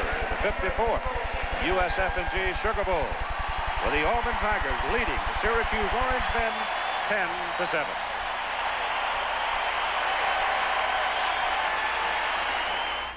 Glover. Well, the option set this up and pulled the strong safety Staples up and allowed Glover to get in behind. Syracuse had a field goal try for the lead just short, but when Lyle from 40 yards made his, and it's 10-7 at halftime. Boy, he really puts a leg swing on it, doesn't he? Here are the numbers now for the two teams at halftime. Interesting thing here for me, Keith, is the total yardage, first of all, 160 for Auburn. But look just above that, 126 of that is passing, and only 34 is rushing. On the other side, McPherson is having his problems. Only, eight, only 53 yards passing for the nation's leading passer. Take a look at Syracuse possessions. The first three were punts. A couple of those were quick kicks. They finally got a touchdown on their fourth possession and missed a field goal, but no turnovers. Auburn scored on their second possession with only three plays, threw an interception, and then got a field goal on their last possession. Individually, Burger had a good drive that last one, completing five of six passes. Danley is the leading rusher, and Tillman has caught three for a touchdown. Syracuse, there you see McPherson, four of eight. What you don't see there are the four sacks that he has suffered. Johnston and uh, McPherson leading rushers. McPherson run the ball 13 times. Glover with a touchdown. Now, the defensive stats, Bob, you yeah. don't see Andre Bruce's name. He has not been very obvious. Well, he has not. He's only made three tackles. Those three men, Crain and Phillips, play the same position. And the other one, Ed, uh, uh, uh, Crain and... Uh, no, Crain and Riggins. Wiggins. yeah. play the same position. And, uh, of course, Phillips is the other line, inside linebacker. So all the uh, tackles, most of the tackles, leading tacklers, have been inside linebackers uh, for Auburn. And as we told you, we came on the air today from the Sugar Bowl that it was uh, orange time in Newlands. Since both teams, of course, Syracuse is all orange and uh, Auburn is burnt orange and navy blue. So that is the predominant color. Of course, this town is just jumping up and down over what the Saints have done. Jim Mora, Jim Finks' organization. Kind of interesting that uh, where Jim Finks has been, his general manager, he uh, came out of the, well, he took Bud Grant out of the CFL, brought him to Minnesota, built the foundation of the current Chicago Bears, and doing the same thing in New Orleans. And here we go with the second half. Syracuse kicks off. It goes to Perry Reed. And Reed, looking for daylight, will get up just over the 20 to about the 22. So the Tigers will have the ball first as we start the second half. Auburn leading by three. It's been a cracking football game so far. It's been a defensive struggle, Keith. The offenses have done some things in spots, but mainly the two quarterbacks that we uh, highlighted at the beginning, Burger, the SEC Player of the Year, 68 yards and a touchdown, and McPherson have been pretty much held under control. From the 22, Burger, the quarterback, and he pitches the ball, goes to Reggie Ware. And penalty flag is down at the 25-yard line. Reggie Ware, 235-pound senior from Huntsville. It's holding against Auburn. So the Tigers come out and make a mistake.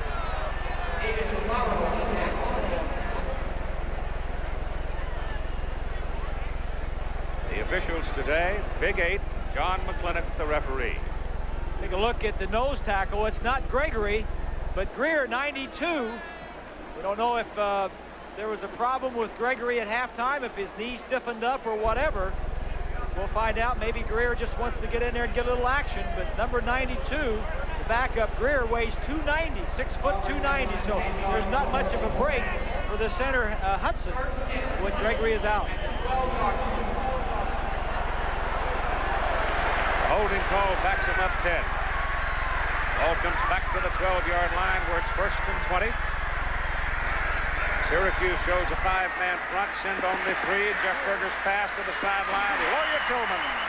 It's a good catch just beyond the 25. He laid out. Holding. Now they're going to wave it off and say no. One official coming up indicated, uh, at least I thought he did, that it was a good catch. But let's see. Got, got a good look at it right here. Uh, looked pretty good, didn't it? Well, you just can't see from that angle whether or not he had possession. Well, did the top end of him hit the ground before the bottom end? I think that's the question. Well, let's see. He's going to land in bounds. That's a catch. Yeah, I think they missed that one. I think they missed that one. Second down, 20.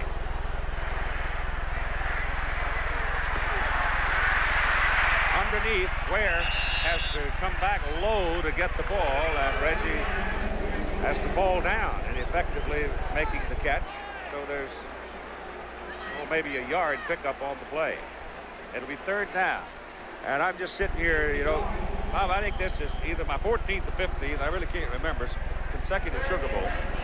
But I've been watching uh, Auburn football a long time. Pat Dye's team's a long time, and this is totally out of character what I'm seeing here. I'll bet. Being thrown inside the 20. I'll bet. I wondered why you had that big smile on your face when you walked into the booth and you saw Auburn out there. Down the middle it goes, and not quite. Danley hooking right in the center. He is hauled down by David Bavaro, short of the first down, and Auburn now is going to have to punt it away. David, six-footer, 225, only a sophomore, and as we told you earlier, the younger brother of Mark Bavaro. All-American at Notre Dame and now with the Giants. Tommy Kane is deep for Syracuse. Tommy standing back inside his own 35. Got a little pressure on Shulman this time, but oh, that's a good kick. Nice, soft, tight spiral. Hangs up there a long time, and the Tigers effectively cover it. About the 37-yard line for Syracuse, and here's Mike. Well, Keith and Bob, if Syracuse is to win this game on a defensive standpoint, they'll have to do it without uh, their great nose guard, Ted Gregory. He is out for the rest of the game because he strained that right knee again, and they don't want to and they don't want to re-injure it, so he is out for the rest of the game, and we'll have more from the 54th annual Sugar Bowl. Auburn 10, Syracuse 7. Stay with us. Another of Syracuse Hall of Fame running backs, Floyd Little, three-time, three-time All-American, 1964, 65, 66, later All-Pro with the Denver Broncos. Little helped the Orange to two bowl games in his three years, the Sugar in 1964 and the Gator in 1966. There's Big Ted Gregory. You just heard the report from Mike Adamle. He's strained uh, that knee that he had injured. He will not play again today, and they'll sorely miss him. And Chris Ingram, cornerback for Auburn. Chris is out with a separated uh, shoulder. Uh, excuse me, Chris Ingram, Syracuse. Yeah. And so there, there are two big losses right there. Auburn's the corners are out. Auburn's corners are out too. Yeah, they're both gone Yeah. too. All right, the Orange go to work. First down from their 37-yard line, and carrying the ball is Robert Drummond, and he works his way up in the middle and picks up about three, close to four. We're in the third quarter of play with Auburn leading in the ball game by 10 to 7, and the Rose Bowl getting underway with the Trojans out to a 3-0 lead in the first period in that one. Ball is at the 41 now for Syracuse. There have been four big sacks of Don McPherson by the Auburn defense, and each one of those sacks have weighed heavily in the fortunes of Syracuse. There's a little play action fake. Syracuse rolls and throws as Glover makes the catch. So Glover has been McPherson's prime target today. Though over the season, Tommy Kane was their big receiver.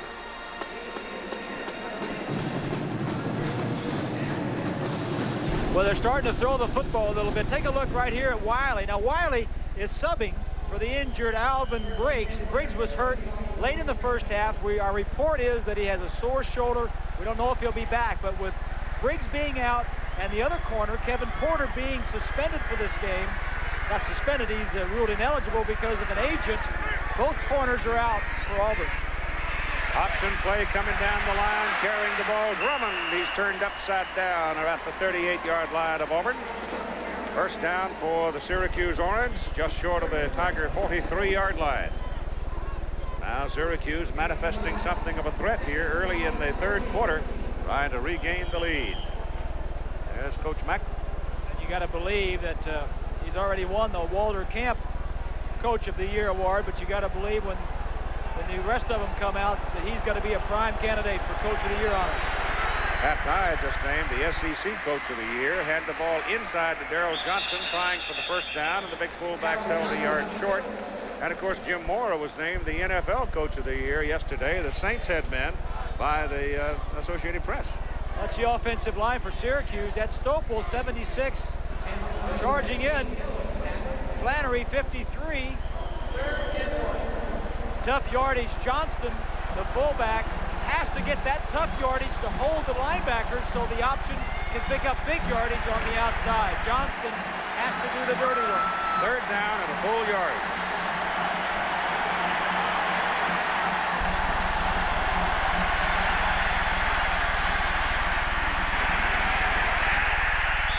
Drummond dives and will have it by a yard. So he picked up a couple and needed one.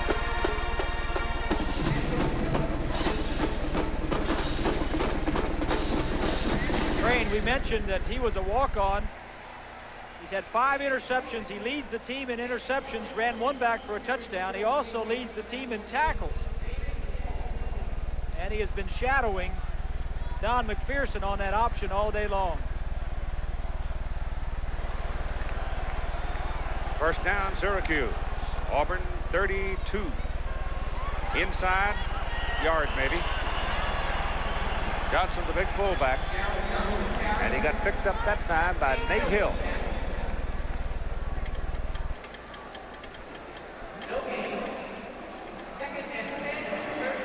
Nate,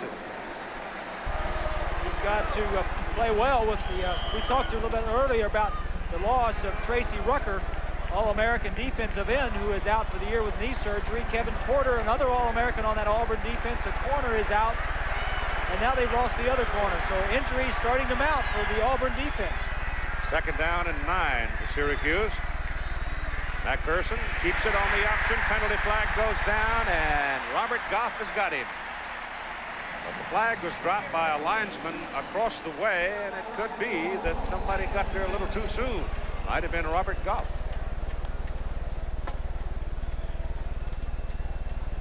Was.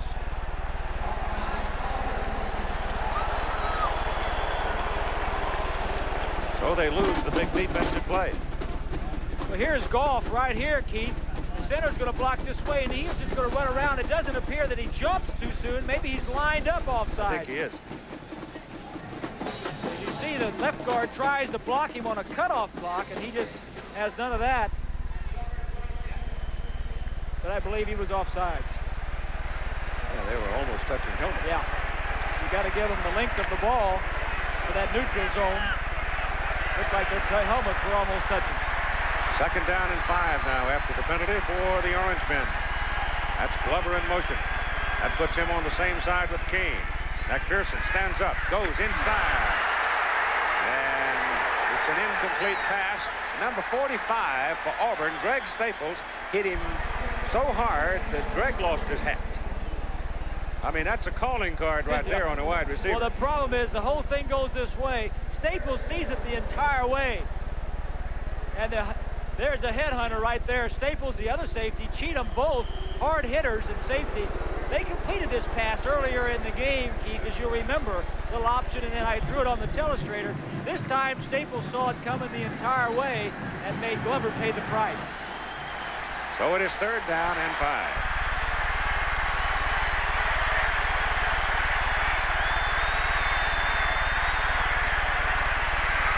They run Drummond.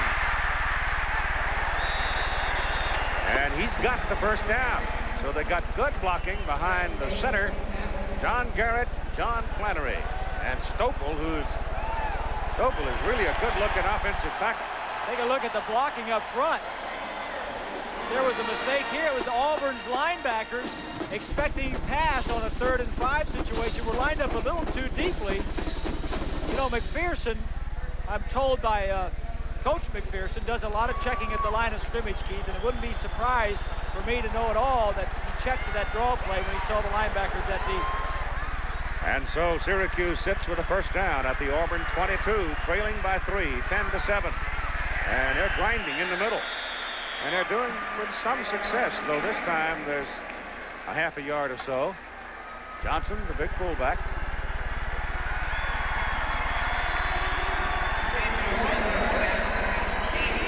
Ivan Fears. I'd hate to make my living trying to run up the middle against Auburn, though. Well, I thought you say you hate to make your living giving signals, and grabbing your belt. Well, yeah, I rubbing would. your beard. I would. Either one is right. Yeah. Somebody's got to do it to set up the option.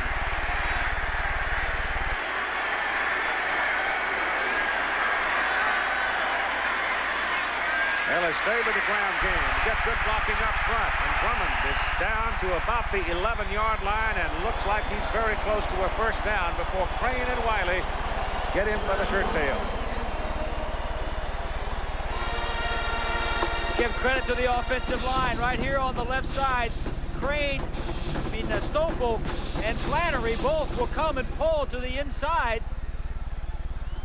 They ran this play once before and it, and it worked very well.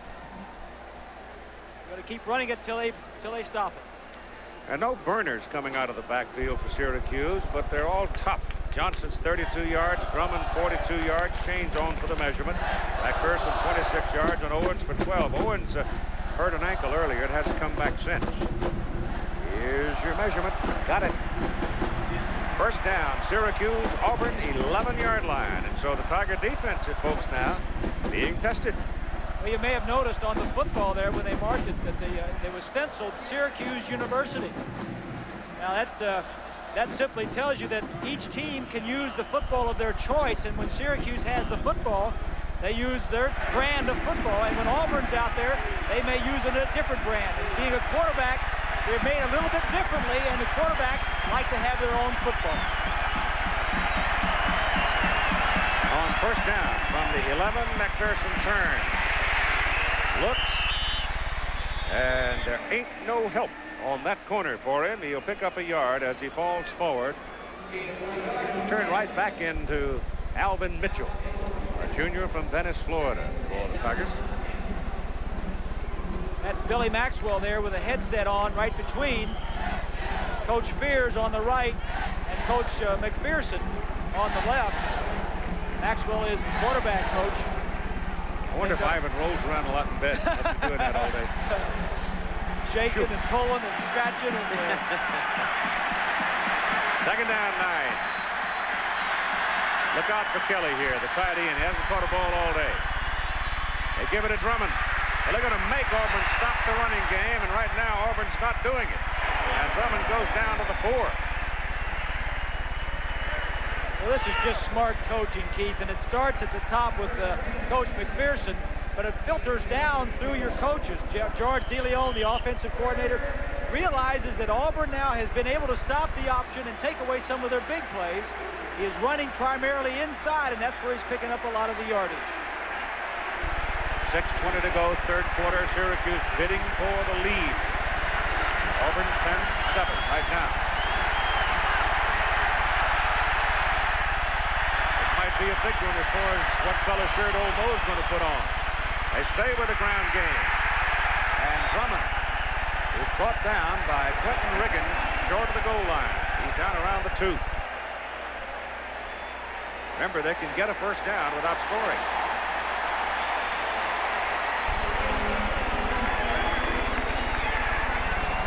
That's going to be a first and goal, looks like, from a yard or what do we got? A flag. Yeah, yeah, I don't see the flag, but they're talking like there's one. And there is. That's a dead ball.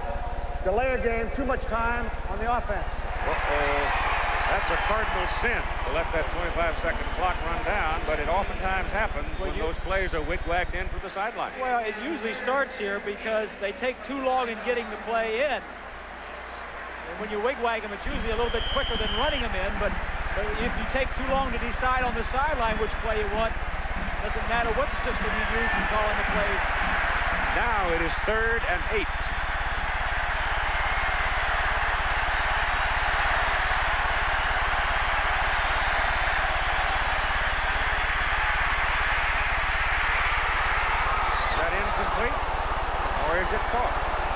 It is incomplete.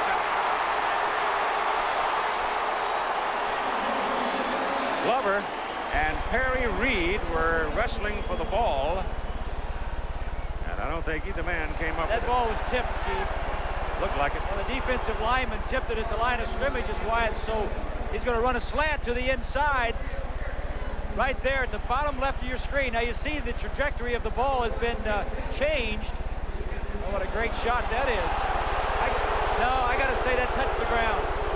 That ball hit the ground and he caught it off the ground. 27-yard field goal try for Tim Vesling. Three out of four from this distance this season. Philcox puts it down and Tim knocks it through. And we're tied again. So with five minutes and 34 seconds to go in the third quarter, it's 10-10. Was it a touchdown? Bob doesn't think so. Great shot to look at, whatever. No. I don't think so. His hand split. Great shot, though. It was close, but it's a tie ball game. Syracuse had an impressive drive going down to get the three points to tie. They had 13 plays, but Bob Griese, their own mistake of letting time run out after having the ball 7 minutes and 35 seconds they get dinged by letting the 25-second clock expire and probably cost them a touchdown. Well, it's not as, as devastating because they did get three points out of it, but they did have a first down on about the three-yard line and instead had to uh, settle for a field goal. So now Vesling will kick it off, and Harry Mose is the middleman to return it for the Auburn Tigers. Harry, number 25.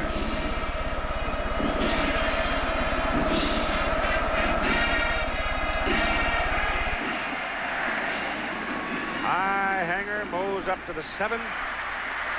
Sideline to the 35. Brought down by Brian LeBaron.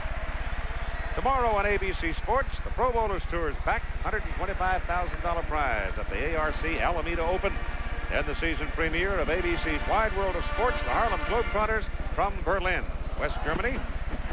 3 Eastern and Pacific, 2 Central tomorrow on ABC Sports. Give him the 36-yard line on the return, and let's check now who Auburn sends out there. Duke Donaldson, 29, is out. Scott Bolden, 24. They're the white people. Jeff Burger's gone all the way at quarterback. Danley and Vincent Harris is the fullback now. Burger, quick drop, little quick pop to the sidelines, and the pass is incomplete. He wanted to pop that man quickly, but there was a Syracuse defender right there. First quarter, Auburn to the lead, 7-0 on that uh, Burger to Tillman touchdown pass. Second quarter, it was McPherson to Glover to tie it at 7-7.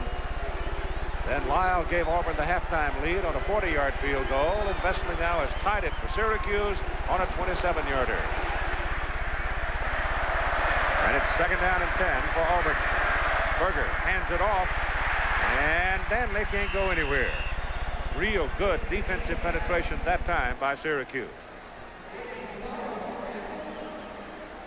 Syracuse defensively as we take a look at the mascot for the Auburn Tigers, War Eagle. Or the uh, War Eagle. Tiger.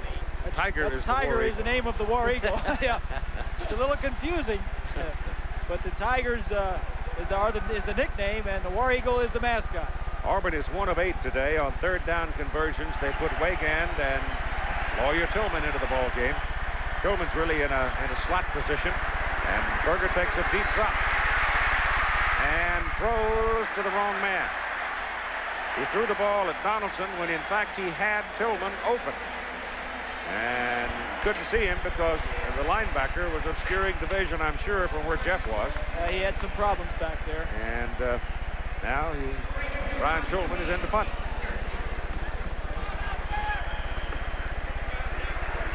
Not a bad day. 10-10 tie with 4.38 to go in the third quarter. And another good one from Shulman. He's getting better as the day goes on. Tommy Kane has to call it fair catch back at the 19-yard line. That's a 44-yarder, but good hang time on it. And Syracuse just finished one scoring drive, has the ball back.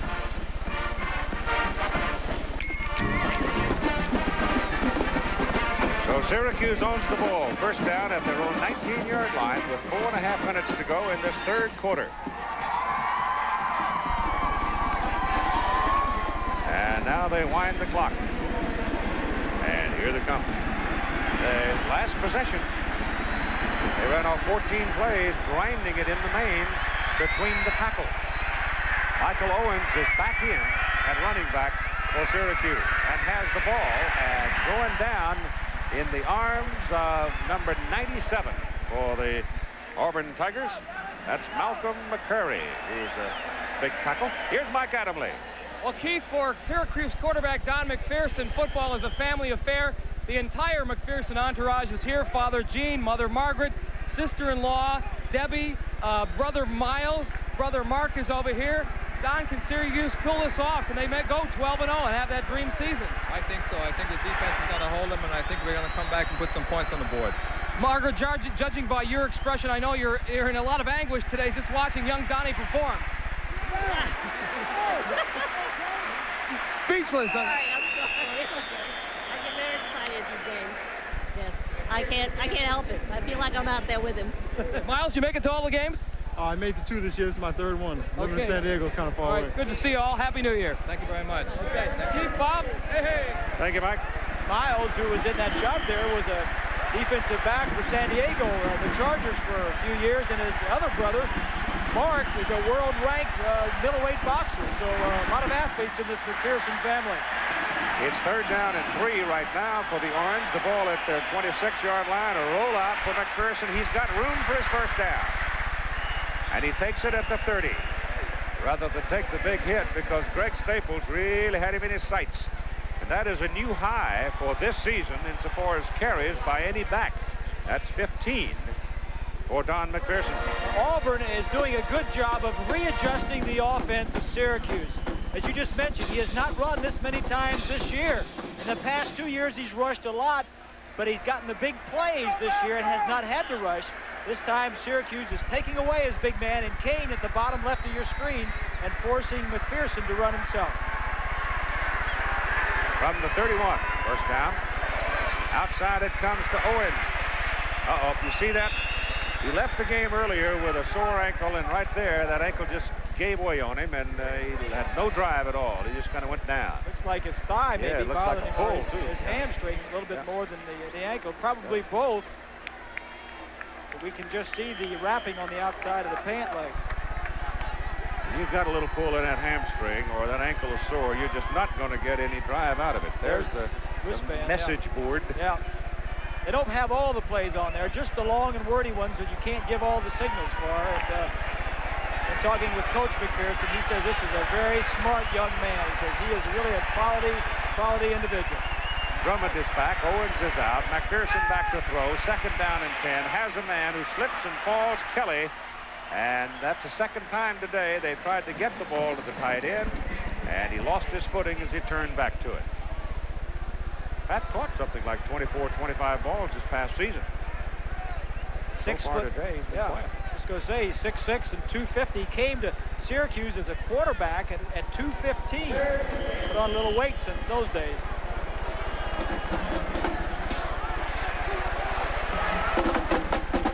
Edward Phillips coming out at linebacker for Auburn.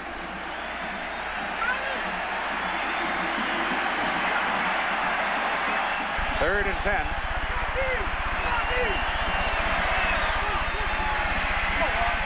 Little pressure on McPherson. Can't get loose. Dropped at the 29. Andre Bruce and company. Nate Hill was the man who got there and got the man. Bruce forced the play right into Hill. So Syracuse will punt it away now with Cooper Gardner. Duke Donaldson waiting to return it. Auburn should come out of this with pretty good field position. If There's- Duke handles it. Just going to say, if there's been one weakness for Syracuse this year, it's been their punting.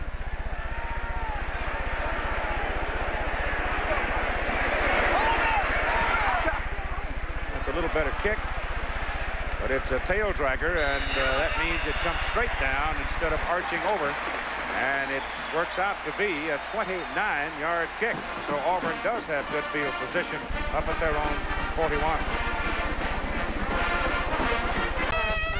The unflappable Pat Sullivan. See eye yells and hollers and waves his arms, and Pat just stands there and uh, That's the filter. Take a look. Take a look at uh, past and present quarterbacks. Pat Sullivan won the Heisman Trophy in 1971 with those numbers. Right below there is Jeff Burger's numbers this year. Every one of them, not every one of them, but just about every one except for attempts is a little bit better. Sullivan won the Heisman Trophy. Burger wasn't even near. Tells you a little bit about how the football game has changed since 71. First down for Auburn. They'll go to the ground game. Give it to Danley. And Danley coming over the off the left tackle. Finds a big gaping hole and runs for a first down.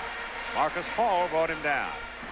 We're getting down into the time of the ball game now, Bob, where we're going to find out who's the physically strongest, who's wearing down. Well, that's why that's why Auburn plays all these people as Markus Paul, number 10, gets the tackle. Auburn has preached all week to us that the reason we play all these different people early in the game is so we can play strong in the fourth, fourth quarter. That's the longest rush of the game for Auburn. And they've got a first down on the Syracuse side. Danley is tripped up, number 90. He Reached up and got him with a shoe top. That's the second time today that Terry Wooden has made a one-handed tackle. Michigan State out to the 7-3 lead in the second quarter over USC. That stunt 4-3 defense of George Perles, the Spartans. Tough to run against. That is tough. Rodney Peete is going to have to have a big day, the quarterback for SC, for them to win. Ball rests precisely on the Syracuse 47. It is second down and nine for Auburn. A 10-10 tie with 25 seconds to go in the third quarter and down the middle for the tight end Reeves. And it is incomplete. Knocked loose for the linebacker, number 55, Dan Boosie.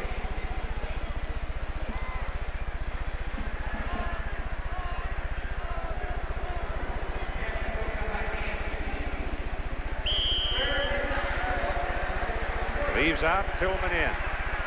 Danley's out. That means Weygand is in. So is Bolton. They got four wideouts. The big target is Tillman.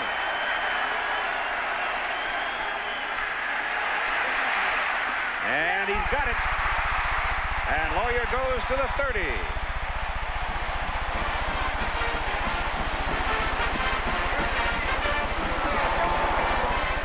Ought to put a box and one on Tillman, little basketball. Jim Boeheim ought to help him out. Here he is right here. Tillman is just going to come down and break to the middle. The linebackers will drop back, and he's just going to wait till he clears the linebackers and defensive backs. He gets inside the linebacker. A nice throw. Zone coverage. Might be not bad for a, somebody to shadow him a little bit. This is Danley picking his way through traffic. Tillman with four catches, 110 yards, and a touchdown. And he's back out of the game. And the third quarter's about over. And it is over. we've got one to go, and we got a 10-10 tie.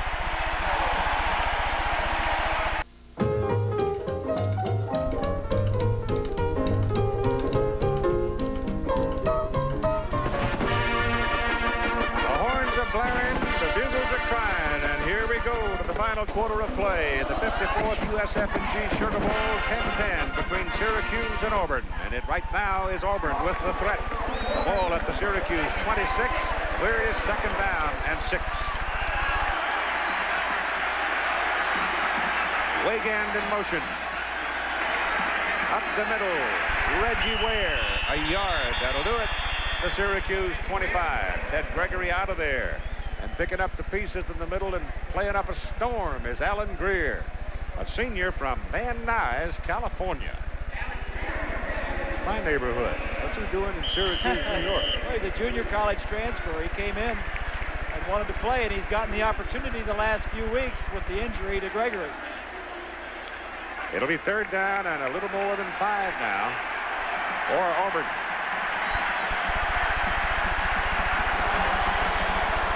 Burger back. Not a problem. Steps away from the heat. To run it. Dives. He's short of the marker. Will now, you're looking at a big field goal effort if Win Lyle gets the call on fourth down. Got a 40-yarder, uh, Keith. That's one of the strengths of this Auburn team is that their kickers, both of them, are all Southeastern Conference selections.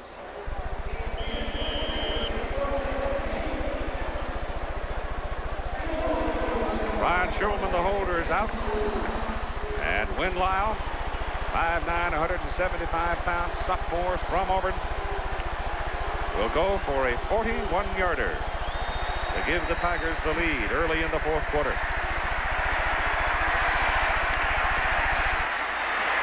Enough leg. Down the freeway.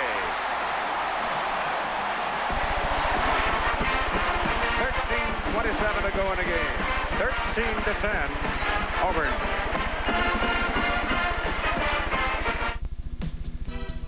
One of the most surprising games in Sugar Bowl history played 1986 the Miami Hurricanes with quarterback Vinny Testaverde heavily favored. But the Tennessee Volunteers gave him a miserable day. UT quarterback Daryl Dickey wound up the MVP, and Tennessee walloped Miami 35 to 7.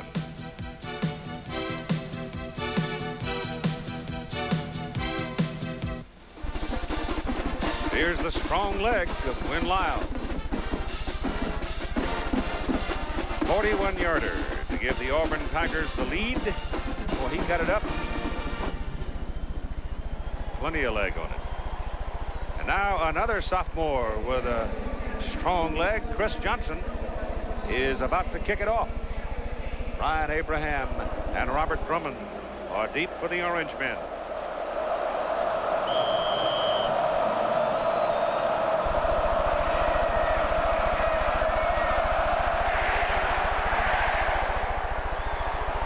Drummond at the nine. Down at the 25.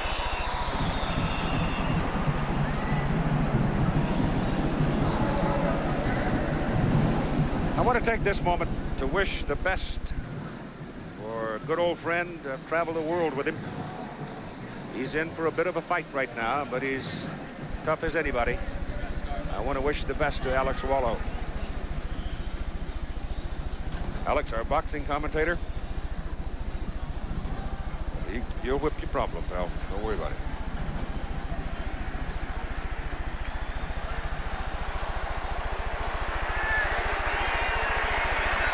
McPherson rolls out on first down and shoots one to the sidelines. A diving try by Rob Moore. But the freshman from Hempstead can't haul it in. So it'll be second down and 10. Michigan State now with its second touchdown. Lorenzo White scored them both. Lorenzo with his two touchdowns so far in that ball game, Bob. Uh, 18 carries, 73 yards. Yeah, he had an outstanding season, and uh, we had pleasure to cover Michigan State a couple of times, and he certainly was a huge factor in their success.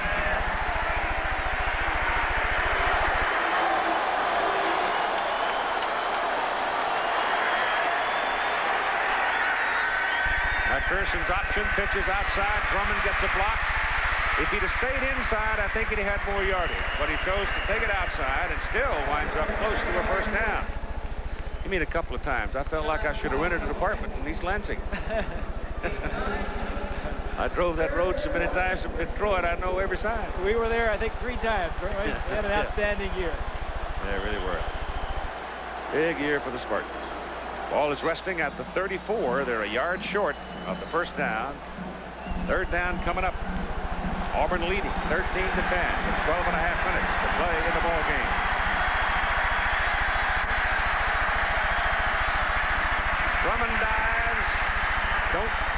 He made it.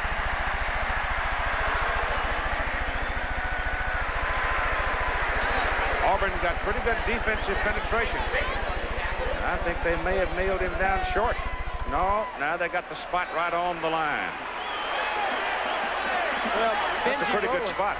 Yeah, Benji Roland got good penetration. The nose man right here watches, he slants, and then two other linebackers will come from out of the picture and do a pretty good job of stuffing this play. Roland kicks his feet, gets into the backfield. Yeah, that's a good spot. He was there. He was there. Linesman right on top of the play, and it's first down, Syracuse at their 35. Into the middle goes Daryl Johnston, and there's a great big hump as he goes in there and collides. And the ball was loose there for a second, but I think they ruled he was down, Keith.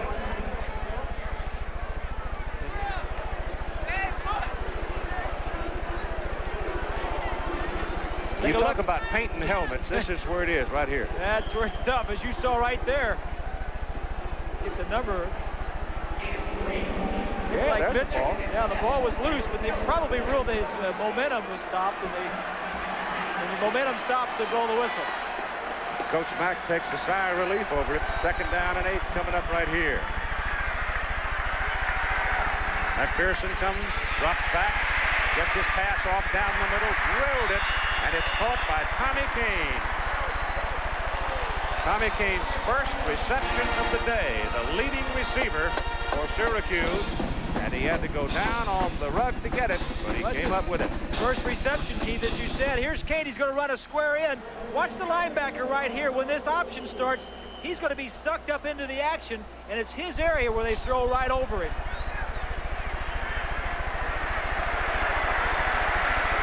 Big first down for the Orange Men at the Auburn 44-yard line. Tigers lead 13 to 10. Syracuse undefeated, ranked fourth in the nation. Drummond pounding up the middle, breaking two tackles, and picks up a first down at the Auburn 33.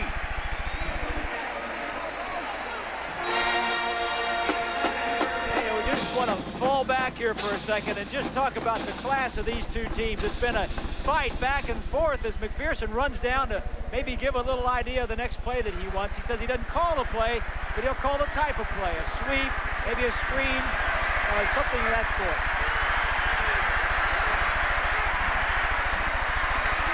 There goes the big fullback Johnston, and he pounds it down to the 21 of Auburn.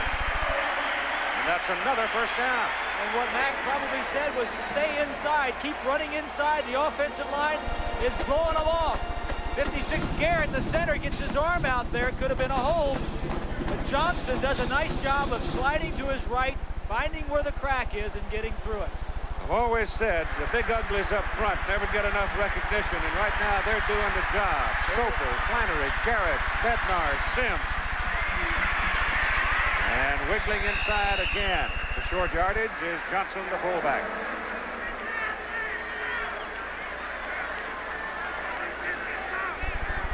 Ball is down at the Auburn 17. Well, they're grinding up four yards at a lick. It's a well-played game, and you really enjoyed watching it because both teams ranked in the top. But well, Auburn ranked sixth, Syracuse fourth, and they played that way. They played up to their capabilities. Syracuse has adjusted their offense to what Auburn has done to it. Here goes Drummond to the 15. Pick up a two.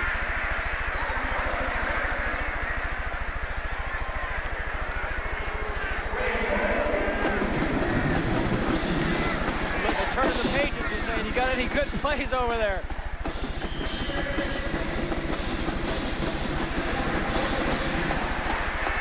Syracuse offensive front doing a heck of a job right now. Really are.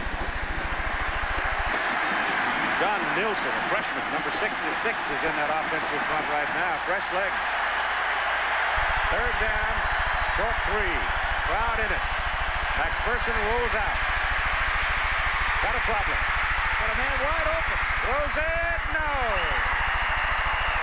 He had a man wide open, but he couldn't get it back and get it far enough to Pat Kelly. But when you're scrambling around, you've got lots of time now. Let me show you the man that's going to be wide open is a tight end. He rolls out and he tries to throw in this area, but the man that's going to be wide open is back to the top right of the screen. He rolls this way. All the defensive backs come this way. And look at the tight end at the top. He just can't get the ball back to him. It is a 32-yard field goal try by Tim Vesling to tie the game one more time. And he just drilled it. And so for the third time, we're even. Now we are faced with this. Only 8 minutes and 53 seconds left to play in the ball game.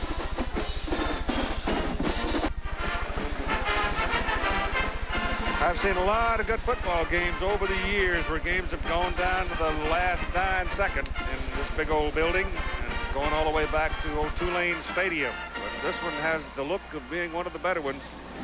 Solid game, uh, Keith. I'm really impressed with the play of both teams, how they've responded.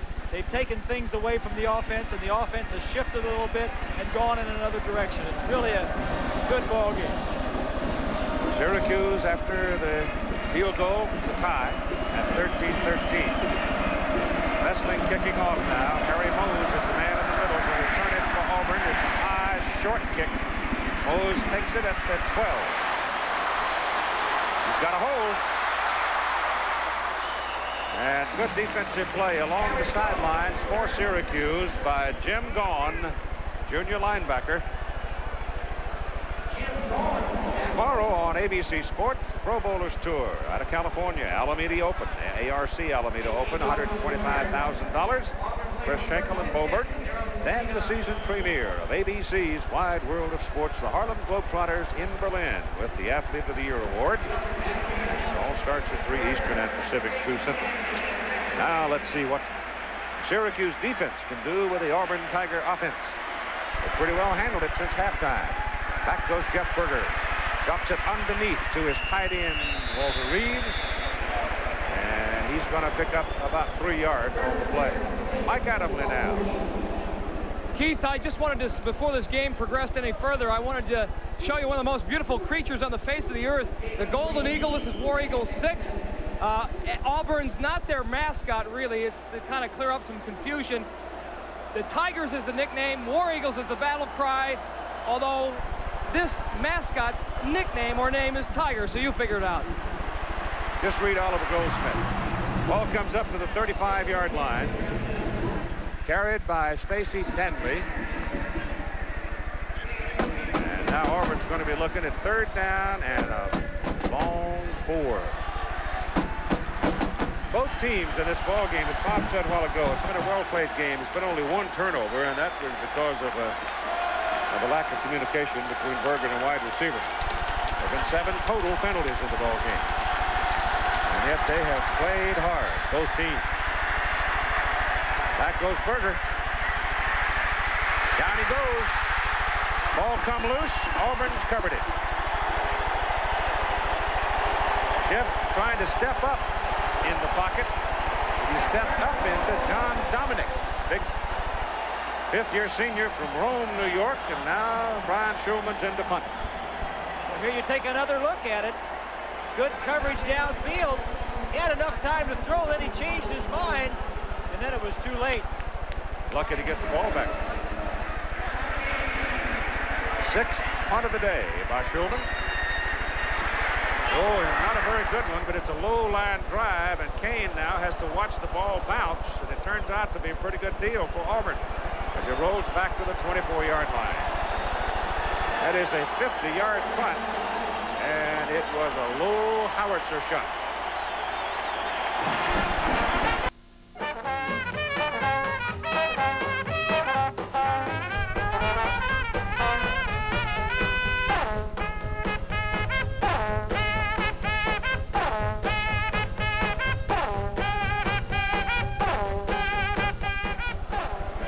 Say that.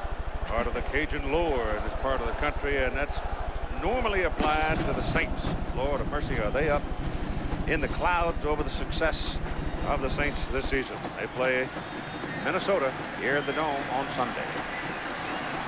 First down for Syracuse at their own 24. A 13-13 tie, 6.47 to play in the game, and Don McPherson rolls it out and throws it and drills it and completes it to Glover. And he's got a first down at the 38-yard line. Here's where a guy like Don McPherson becomes double dangerous because he can do so many things. Well, he's, a, he's, he's been there before, too. He's a fifth-year senior. He's got a lot of poise. Don't forget that this year, the last two ball games of the year, they came from behind, and especially the last game, West Virginia, they had to win it in the last two minutes, scored a touchdown and a two-point conversion to win it. So they've been here before. Drummond has had a big day, goes to the 40, pick up of two yards. Glover's had a big day. Caught five passes for 77 yards. Both teams with three timeouts remaining, but time now becoming a precious commodity. Before today, no running back for Syracuse had rushed the ball more than 14 times in the game this year. Now look what they've done here. Three of them have gone over 14. It tells you a little bit about the psychology and McPherson, the coach's offense. If something's not working, we'll go to something else that is.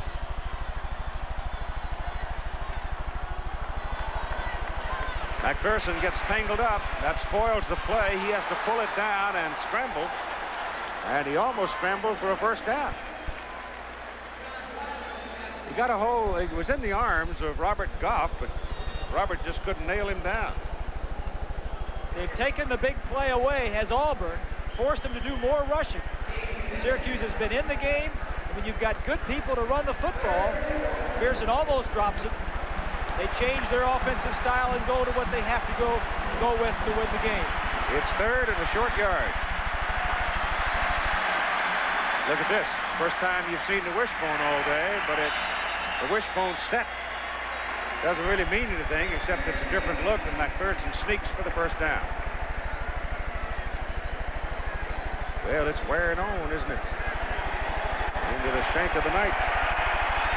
5.07 to play in the ball game.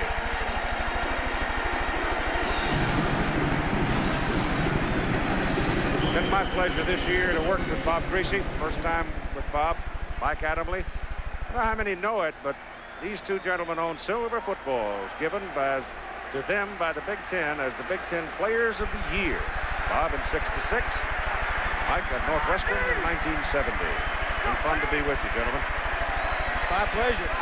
Back goes McPherson. He shoots it high. Ball slipped out of his hands that time. He was looking to Drummond coming out of the backfield and also looking right into the eye of big Robert Goff, who was trying to dehorn him.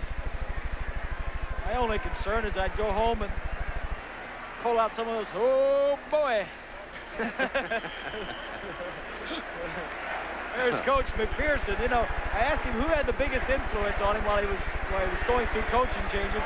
He said he worked with Chuck Studley at the University of Cincinnati and says Studley taught him the X's and O's, and Lou Saban, who he worked with at uh, Denver, taught him how to handle people.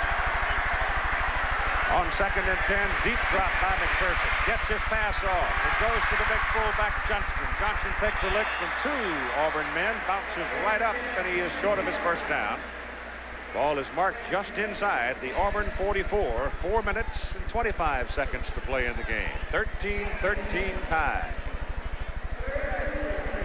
There's never been a tie in the Sugar Bowl. And there is no uh, playoff. No overtime period. Auburn has one tie already this year. They tied Tennessee. Third and three. McPherson trying to get to the outside. Throws. Glover's got it. And he's got a first down at the Auburn 31. Or he waited till the last second. Well, the reason he had to wait, Keith, because there was good coverage. Now, when you roll, all the linebackers roll that way. Crain, 39 at the top. But what happened, Glover, who ran it down and out, when he saw everybody, he went back to the inside. Watch him right here. We'll see him isolate. 45 goes out in front of him. He comes back to the inside. Smart move by uh, Glover. And it's first down, Orange men at the Auburn 31-yard line.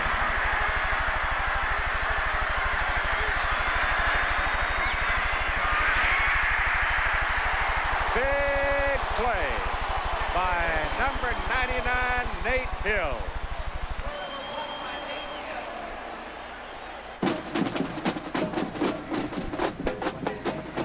Keith, the thing that's impressive about McPherson and the style of offense they run they run an option, usually an option you're going to fumble the ball a lot, put it on the ground. They don't do that. He doesn't throw interceptions, so they've had no turnovers today, and they had, didn't have many this year. Loss of three on the tackle by Hill. Second down, 13. Ball back up to 34.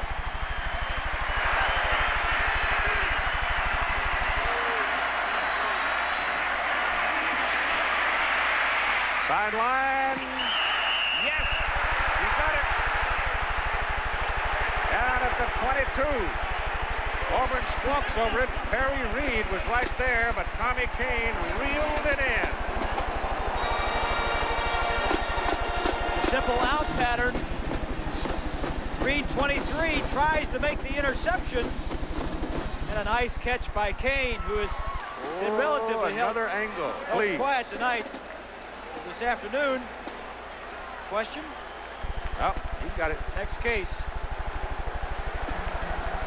Third and a yard.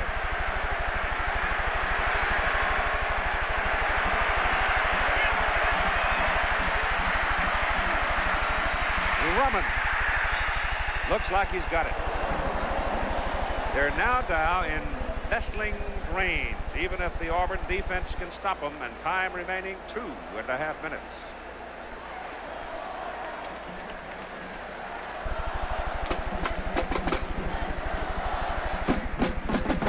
Field goal kickers have hit two today. Vesling just short from 46, good from 27, good from 32. Chains out to check the first down.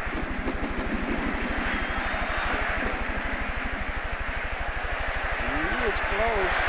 Not quite. Now it's decision time, Coach Mac. He didn't waste much time. Take your points. Both of these teams have excellent field goal kickers, Keith. Vesling here, as you mentioned, has made two, and so This is a 38-yarder, and he's 11 out of 12 this year at this distance. The snapper is John Hudson. The holder, no, it's not John Hudson. The snapper is uh, Brian Featheroff. The kick is right down the middle. The snap by Featheroff, the hole by Phil Cox, and Vesling makes it pay off. And with two minutes and four seconds to play in the game, Syracuse to the lead by three.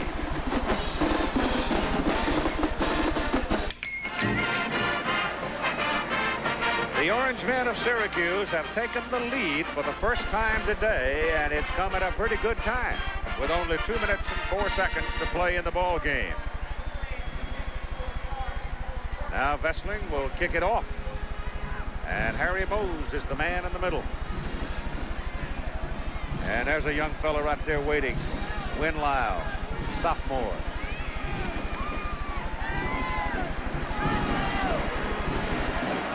I don't know, is it significant? He's got a patrolman standing alongside of him. he didn't seem to be too upset or too No, nervous. he didn't, did he?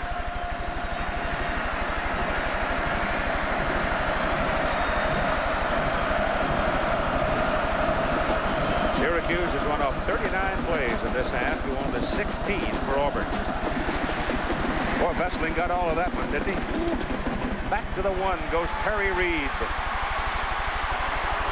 Stays in the traffic and up the lane to the 25-yard line. And tonight, laugh your way into 88 here on ABC. Three minute of AB plus two on Full House. Followed by I Married Dora, then Bob Uecker, man of the house. But Mr. Belvedere's really in charge, you know that. And Brian Keith stars in Pursuit of Happiness, followed by the award-winning 2020 All Tonight on ABC. Well, it is put up time, or as they say down home, gut check for the Auburn Tigers. Number six in the nation. Syracuse, number four in the nation, and undefeated. And Burger's pass down the middle is good to Donaldson, and Duke gave up some ground. He was trying to use his speed to get away, and he couldn't outrun David Bavaro. He had the ball up on the 30, but retreated it by a yard and a half, back inside the 29. Pick up on the play then will go for about three and a half. Burger again gets his pass away. Great catch by Lawyer Tillman. Is he a player? One big play after another for this big guy. That's the first down for Auburn. And 133 to play in the ball game.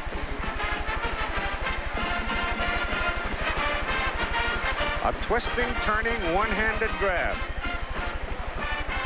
He's an outstanding player, and Syracuse has not taken him out of the offense of Auburn today. Five catches for 118 yards for Lawyer Tillman, and Burger stays with the air game. Dumps it off to Danley.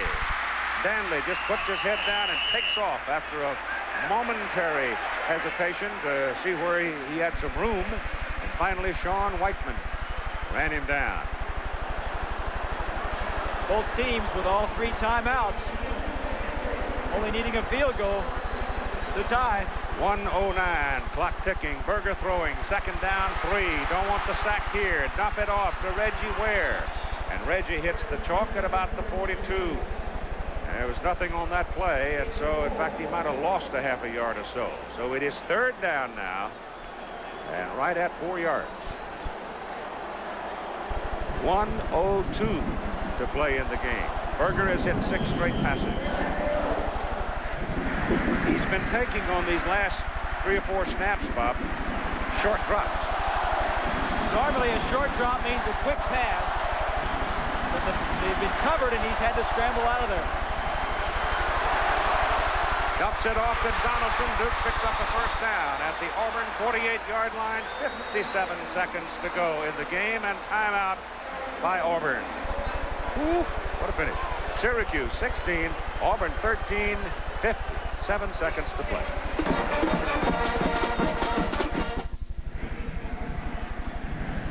We're waiting to the last gasp here to pick the MVPs. It's probably pretty obvious for Syracuse, but not for Auburn. Each university will receive from Chevrolet, in the name of each player, the MVP, a $1,000 scholarship for the General Scholarship Fund to assist students in the pursuit of knowledge in their chosen field. Goes Burger on first down. Gets it down the middle. He's got Bolton.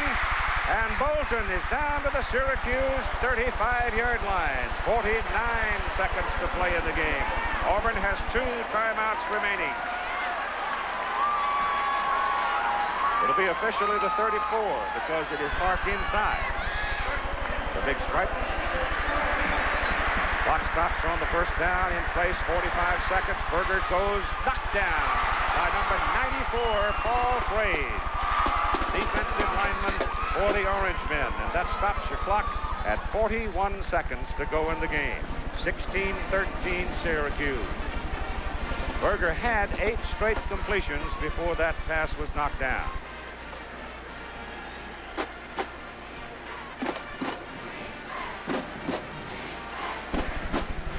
I told you, we'll name him here in a moment.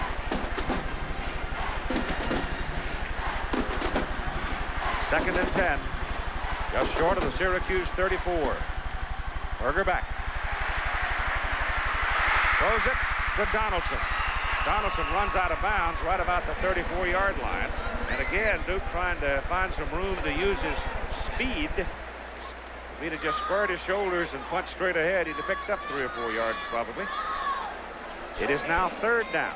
You say it's strange to see a Pat Dye coach team throwing the ball this much.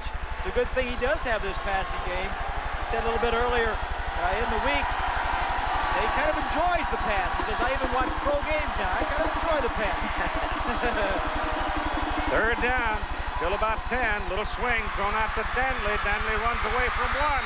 Bangs helmets inside the 30-yard line. That is not a first down. 28 seconds to play.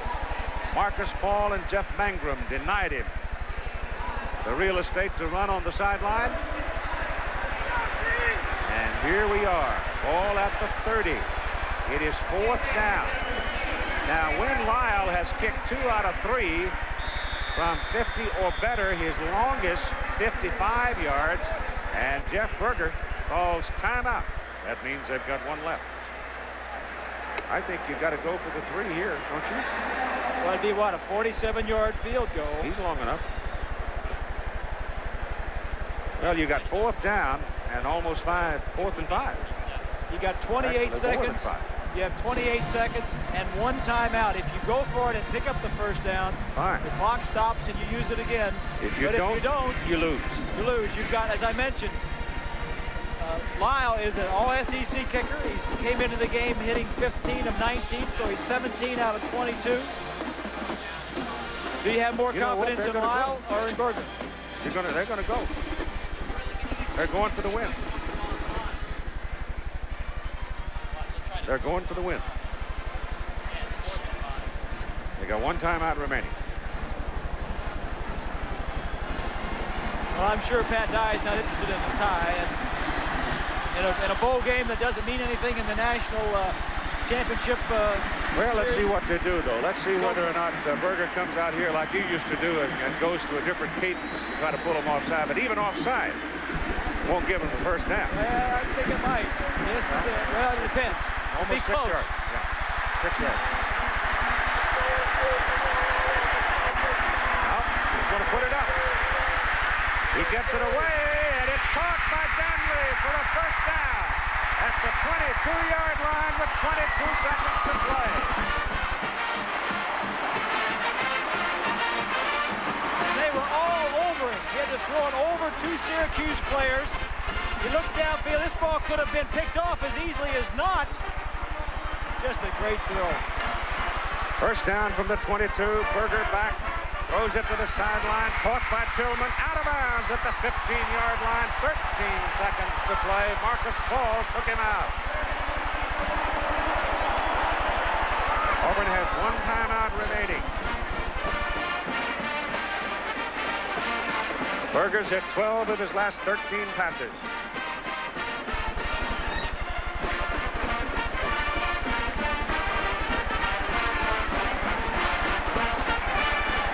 Thirteen ticks on the clock.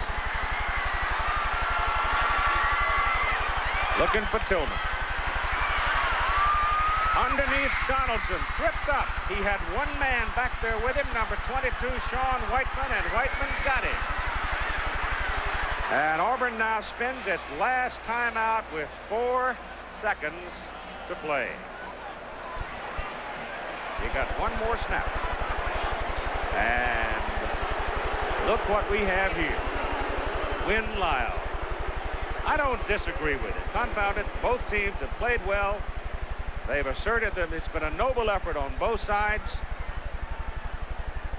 Why not? What would be? Third down?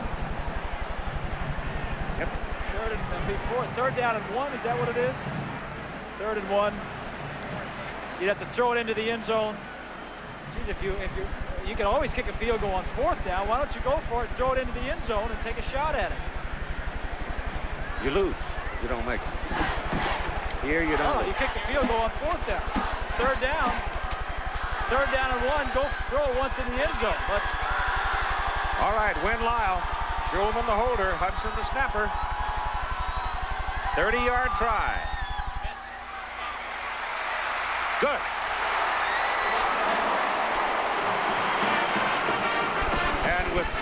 Second to play in the game, it's a 16-16 tie, and it looks like it's going to be the first time in 54 years of the Sugar Bowl that we've had such a thing. and that Yep. man right there has gone through a season. He was 11 and 0 coming in. He's done an outstanding job of getting his players ready to play. Discipline. The Motivation. MVP for the Yep. Sugar Bowl, Bob, the Miller Digby Trophy, is uh, Don McPherson. I'll give you our Chevy players in just a moment. One second. Maybe I'll... Here's Win Lyle now from 30 yards. He kicked it from 40, 41, and 30 and hit them all today.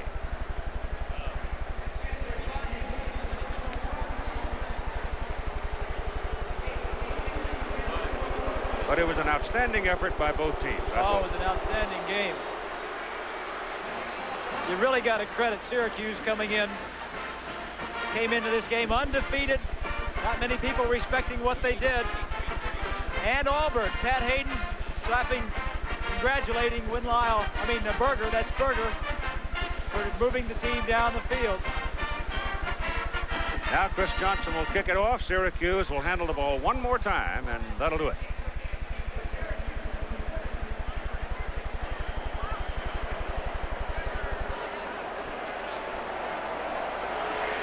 Little Squibber just rolls it along. It's picked up by an up man.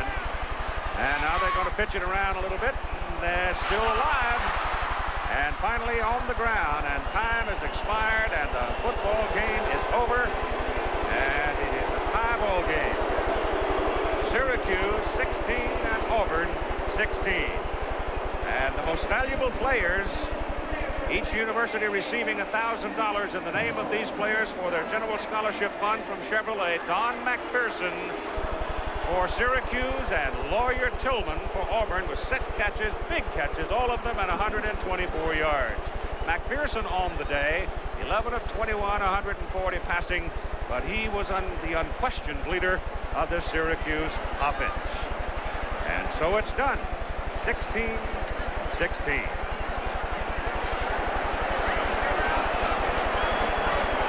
Well, it was a hanger right down to the very last second.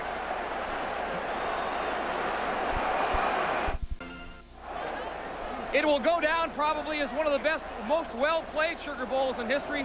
16-16, the final. Coach Dick MacPherson, I imagine it's a little bit bittersweet. You wanted to go 12-0. You wanted to really claim, make a claim for the national championship. How do you feel? Right. They're exactly right. We wanted to go 12 and 0. Then we let everything happen from there. We didn't get there. We got a tie. I tell you, it's a, it's a long struggle. Beautiful, beautiful place. We had a great time in New Orleans. The Sugar Bowl is fantastic. I want to thank all of the Sugar Bowl people for inviting us here, Mike. It was, it was just beautiful. And I, now I got to go into my kids and try to love them up a little bit because they really are a great bunch. I know they were disappointed. What did you think with four seconds ago? I know it's hard to put the co other coach's shoes on. Would you have gone for the tie? Uh, would I have gone for the tie? Absolutely not. I would not have gone for the tie, but you are right. I'm not in his shoes. Coach, uh, again, it's hard, it's hard to tarnish a season like you guys had, and I don't think the 16-16 tie does that. It's been a Mike, great season. Thank you, Mike. Okay. And Get uh, back to your you know, players. you're okay. a great competitor yourself. I remember Okay. you well. God love you. Okay. God thanks, love Nick. everybody. I appreciate it. Keith and Bob? All right, Mike. Well, what would you have done? Well, it was interesting. I, I, I think I would have gone for the win. Uh, It's, it's a meaningless uh, uh, ball game. It's not for the national championship. Uh, you know, you play it wide open the whole way.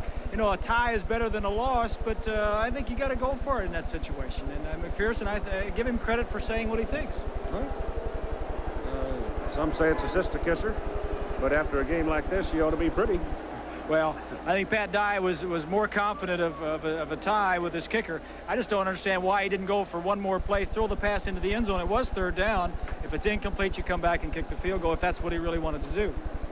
Well, you had Tillman, too. I was a little surprised that maybe Tillman wasn't uh, a little more obvious uh, and, and, and late in the going there because he almost every time when they had to have a big play, it looked like Lawyer made it. Well, they did, but on the last few plays, as I was watching, they were double covering Lawyer Tillman, and, and, and well, they should, and they finally got to doing that. Uh, but again, it's it was a heck of a ball game. I, you know, I, I'm very impressed with Syracuse and, and what uh, Dick MacPherson has done for that ball club. You know, he, the discipline, uh, the motivation that he has brought to that system, and what he has done is just overwhelming. Yeah, it is. It is. Well, we've got some highlights. I'm not sure exactly what they are, so let's roll them here and we'll see what they are as we got down through the. We started out with Auburn going to the lead by uh, 7 nothing on this 17-yard reception by Tillman from Burger, and here was just a great athletic play by Tillman and a perfect pass by Burger. Well, Burger puts it the only place he can, high and away from the two defensive backs. More often than not, a quarterback will throw the ball away from the defense as much to the offensive man, and that was the only place he could put it. Syracuse then responded and capped off their drive with this 12-yarder from McPherson to Glover. Again, the option down the line pulls up the men in, in the intermediate area and allows him to throw over the linebackers and between them and into the end zone. Nice catch by Glover. It was Win Lyle who stepped into being a principal figure in this ball game early on with this 40-yard field goal to give Auburn a 10-7 halftime lead. That was the Syracuse uh, touchdown that tied it by Vesling at 10-10, I guess it was. And then as time wore on down in the ball game, and uh, that now I understand that's Vesling's field goal that gave Syracuse the 16 to 13 lead.